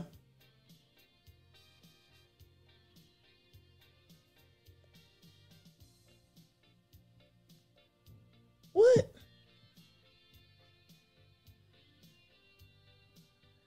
You, th- this is the problem with Negroes, right? Like white folks have just throw some. Sh- you, I, you know what? That's this is exactly why I be tripping on y'all. Give us a call 872-259-7474. Is it another call up there? Caller, you on the Maze Jackson show? Good morning, Maze. Enjoyed your show so far. My name is Diane Young, and Hey, Diane. I'm commenting. I'm not saying that Ray Lopez didn't mean what he said while he was on your show, but as the saying goes, you can make your mouth say anything. That's my comment. Okay. I mean, I feel like that could be a um.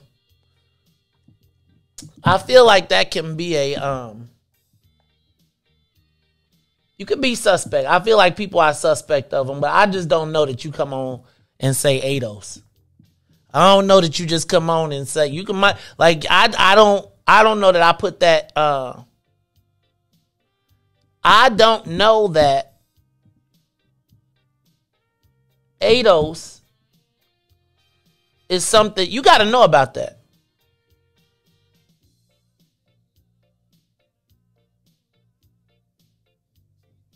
Well, give us a call 872-259-7474. What's up? Caller, you on the Maze Jackson show. Oh. Now why I got I'm just saying. Willie Wilson. I don't know, man. I just think like this, man. I see Willie Wilson getting the black vote. Have you all heard that Mike Quigley is getting in the race? I think Mike Quigley is planning on getting in the race. I think he takes the north side and splits it with the mayor.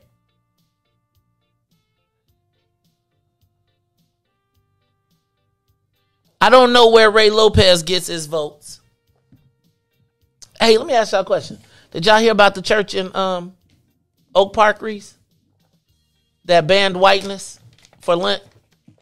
They they fasted on whiteness for Lent, and now they had to close the church because he got threats.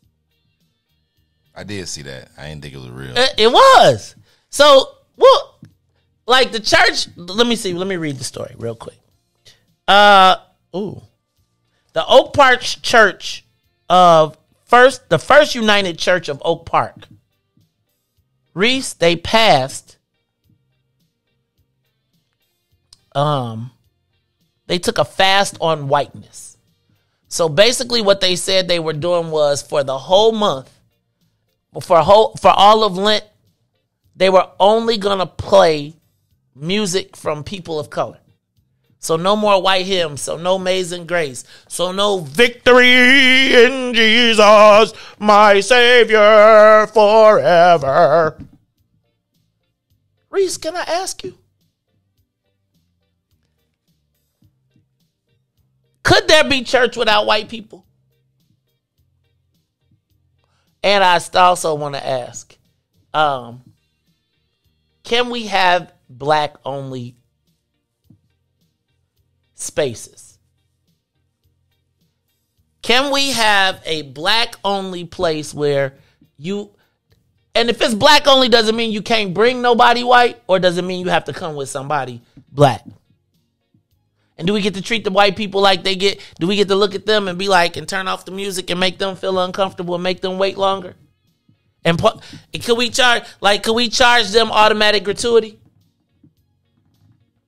Shouldn't be getting in. Huh?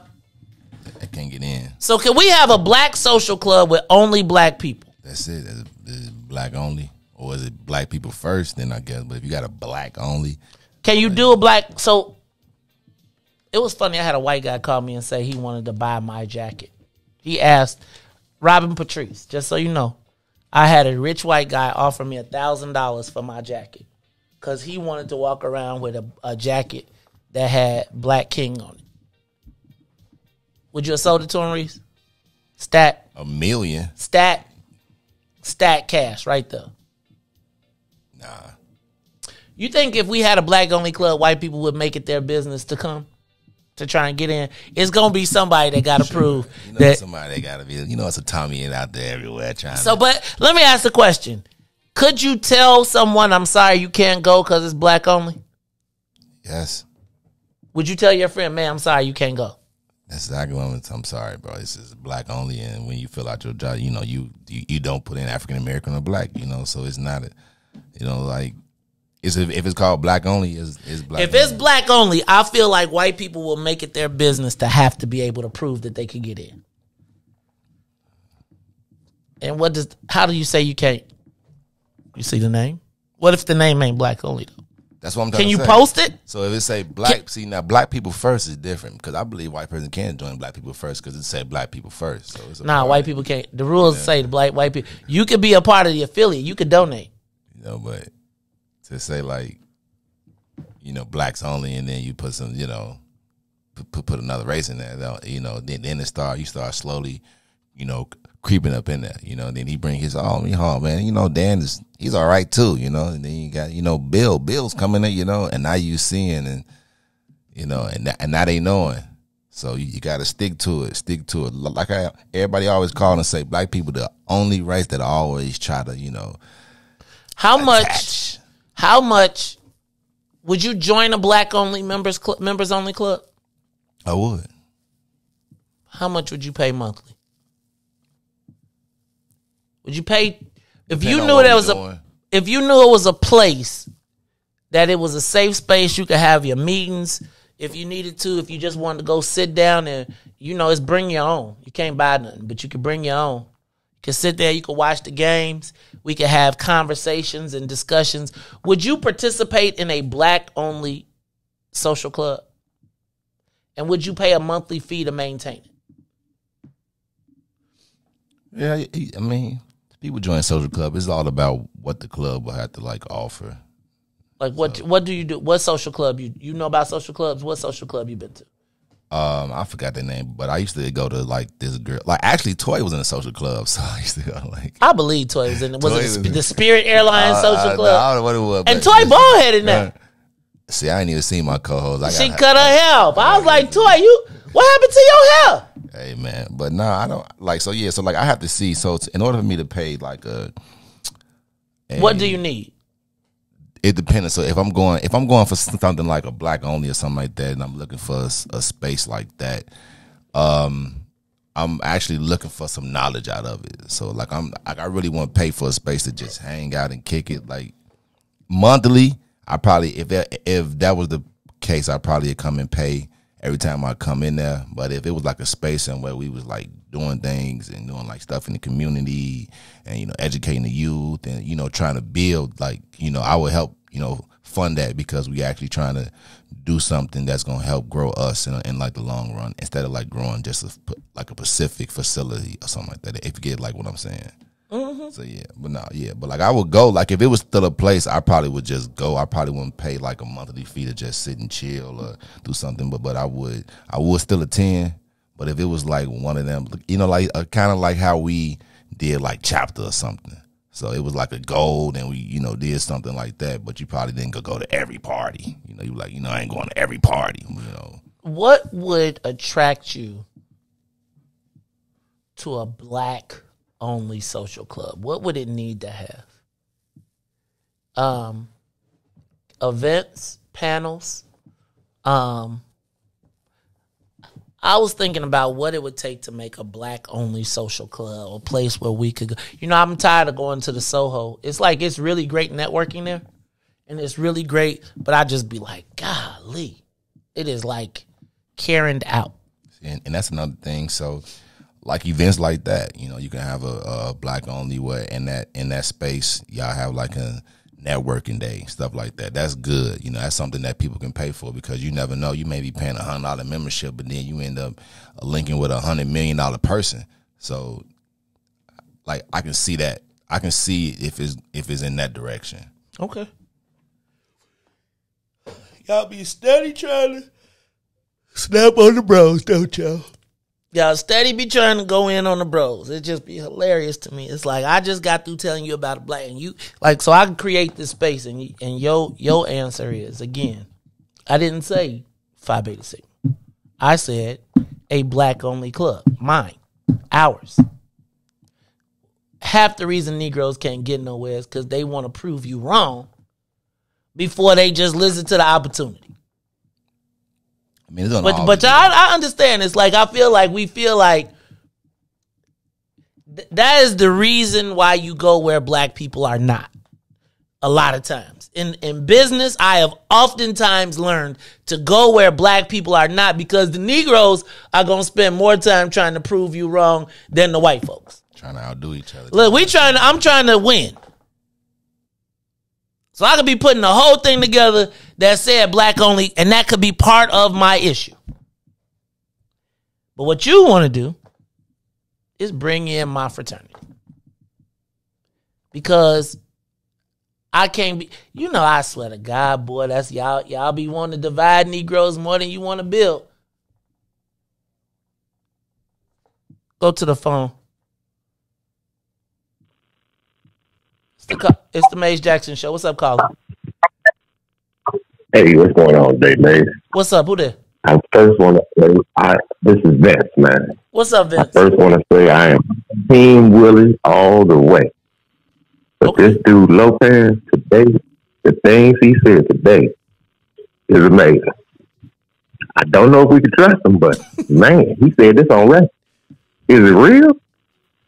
I know I'm gonna be playing it back. I'm gonna tell you that. Uh, I know it's gonna be in Riis's promo. It's gonna be in Riis's promo this week, talking about he gonna have him a whole man. commercial. Do you support? No. Hey man, you better send him to uh, to the Flannery. Send him to Flannery. He snapped off, right? He just like no. Woo! Hey, and he said no dreamers either. It was crazy. That was Ain't none of our black politicians said that not one time. that. They can't though. You know, black politicians say they be like they're radical. So, So how is he saying? Uh, cause, cause white folks get free.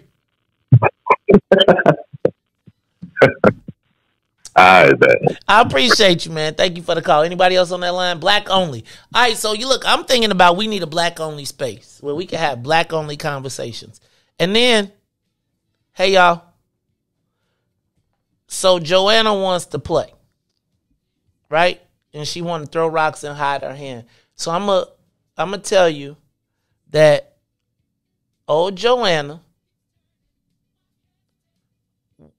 we should we should start looking at Joanna. We should start, you know, it's like again, I think when white folks think they have a comfort level because they they think they the good white folks and can walk in and walk through the black folks and be like, you can you can come in and be disrespectful and then try and be cool because you because you friends with somebody. No, it don't work that way. So if you want to come on this side of the line, welcome to it. It's the Maze Jackson Show. Look, Riis, we got to get up out of here. So for Maze and Riis, sometimes Ruthie, I am the host of the Maze Jackson Show. Where every single day we ask the question, "What's in it for the black people?" And if you don't like it, you can still tell them. Maze said, "We out of here." Peace. Let's get down to business and go ahead and address the facts, man. Lightfoot seems more lesbian than black. Rahm Emanuel's another case, he was just as tired. 50 closed schools left much to be desired. Police had Anjanette naked on that body cam. They suppressed the footage so it couldn't touch a lot of hands. Reminds me of that 16 shots in that cover up. Both of them similar, so I went and dug it up. George Floyd killed, a lot of riots happened in the town. Southside burned and they wouldn't let them bridges down. Grandmother sick, need a prescription and plus a couple groceries. You gon' have to travel just to get it now. COVID 19 out here shutting all the business down. Not enough SBA loans to even give around. So many failed businesses that you can put them in the pile. If you don't survive the pandemic, it's gon' sit you down. We sing, dance, play ball, entertain, and crack jokes. Government infested black neighborhoods with crack smoke. System that milked us so bad, we got lactose. Still trying to find out what's in it for us black folks. We sing, dance, play ball, entertain, and crack jokes. Government infested black neighborhoods with crack smoke. System that milked us so bad, we got lactose. Still trying to find out what's in it for us black folks. Shout out to Willie Wilson, hope one day you get to send it. We need some different players in the game to handle business. Too many shady characters like Madigan and Blago. But when you really break it down, it's typical Chicago. City full of gangsters, it's what the land was built on. Same streets with hood legends, DNA gets spilled on. Carjackers out here.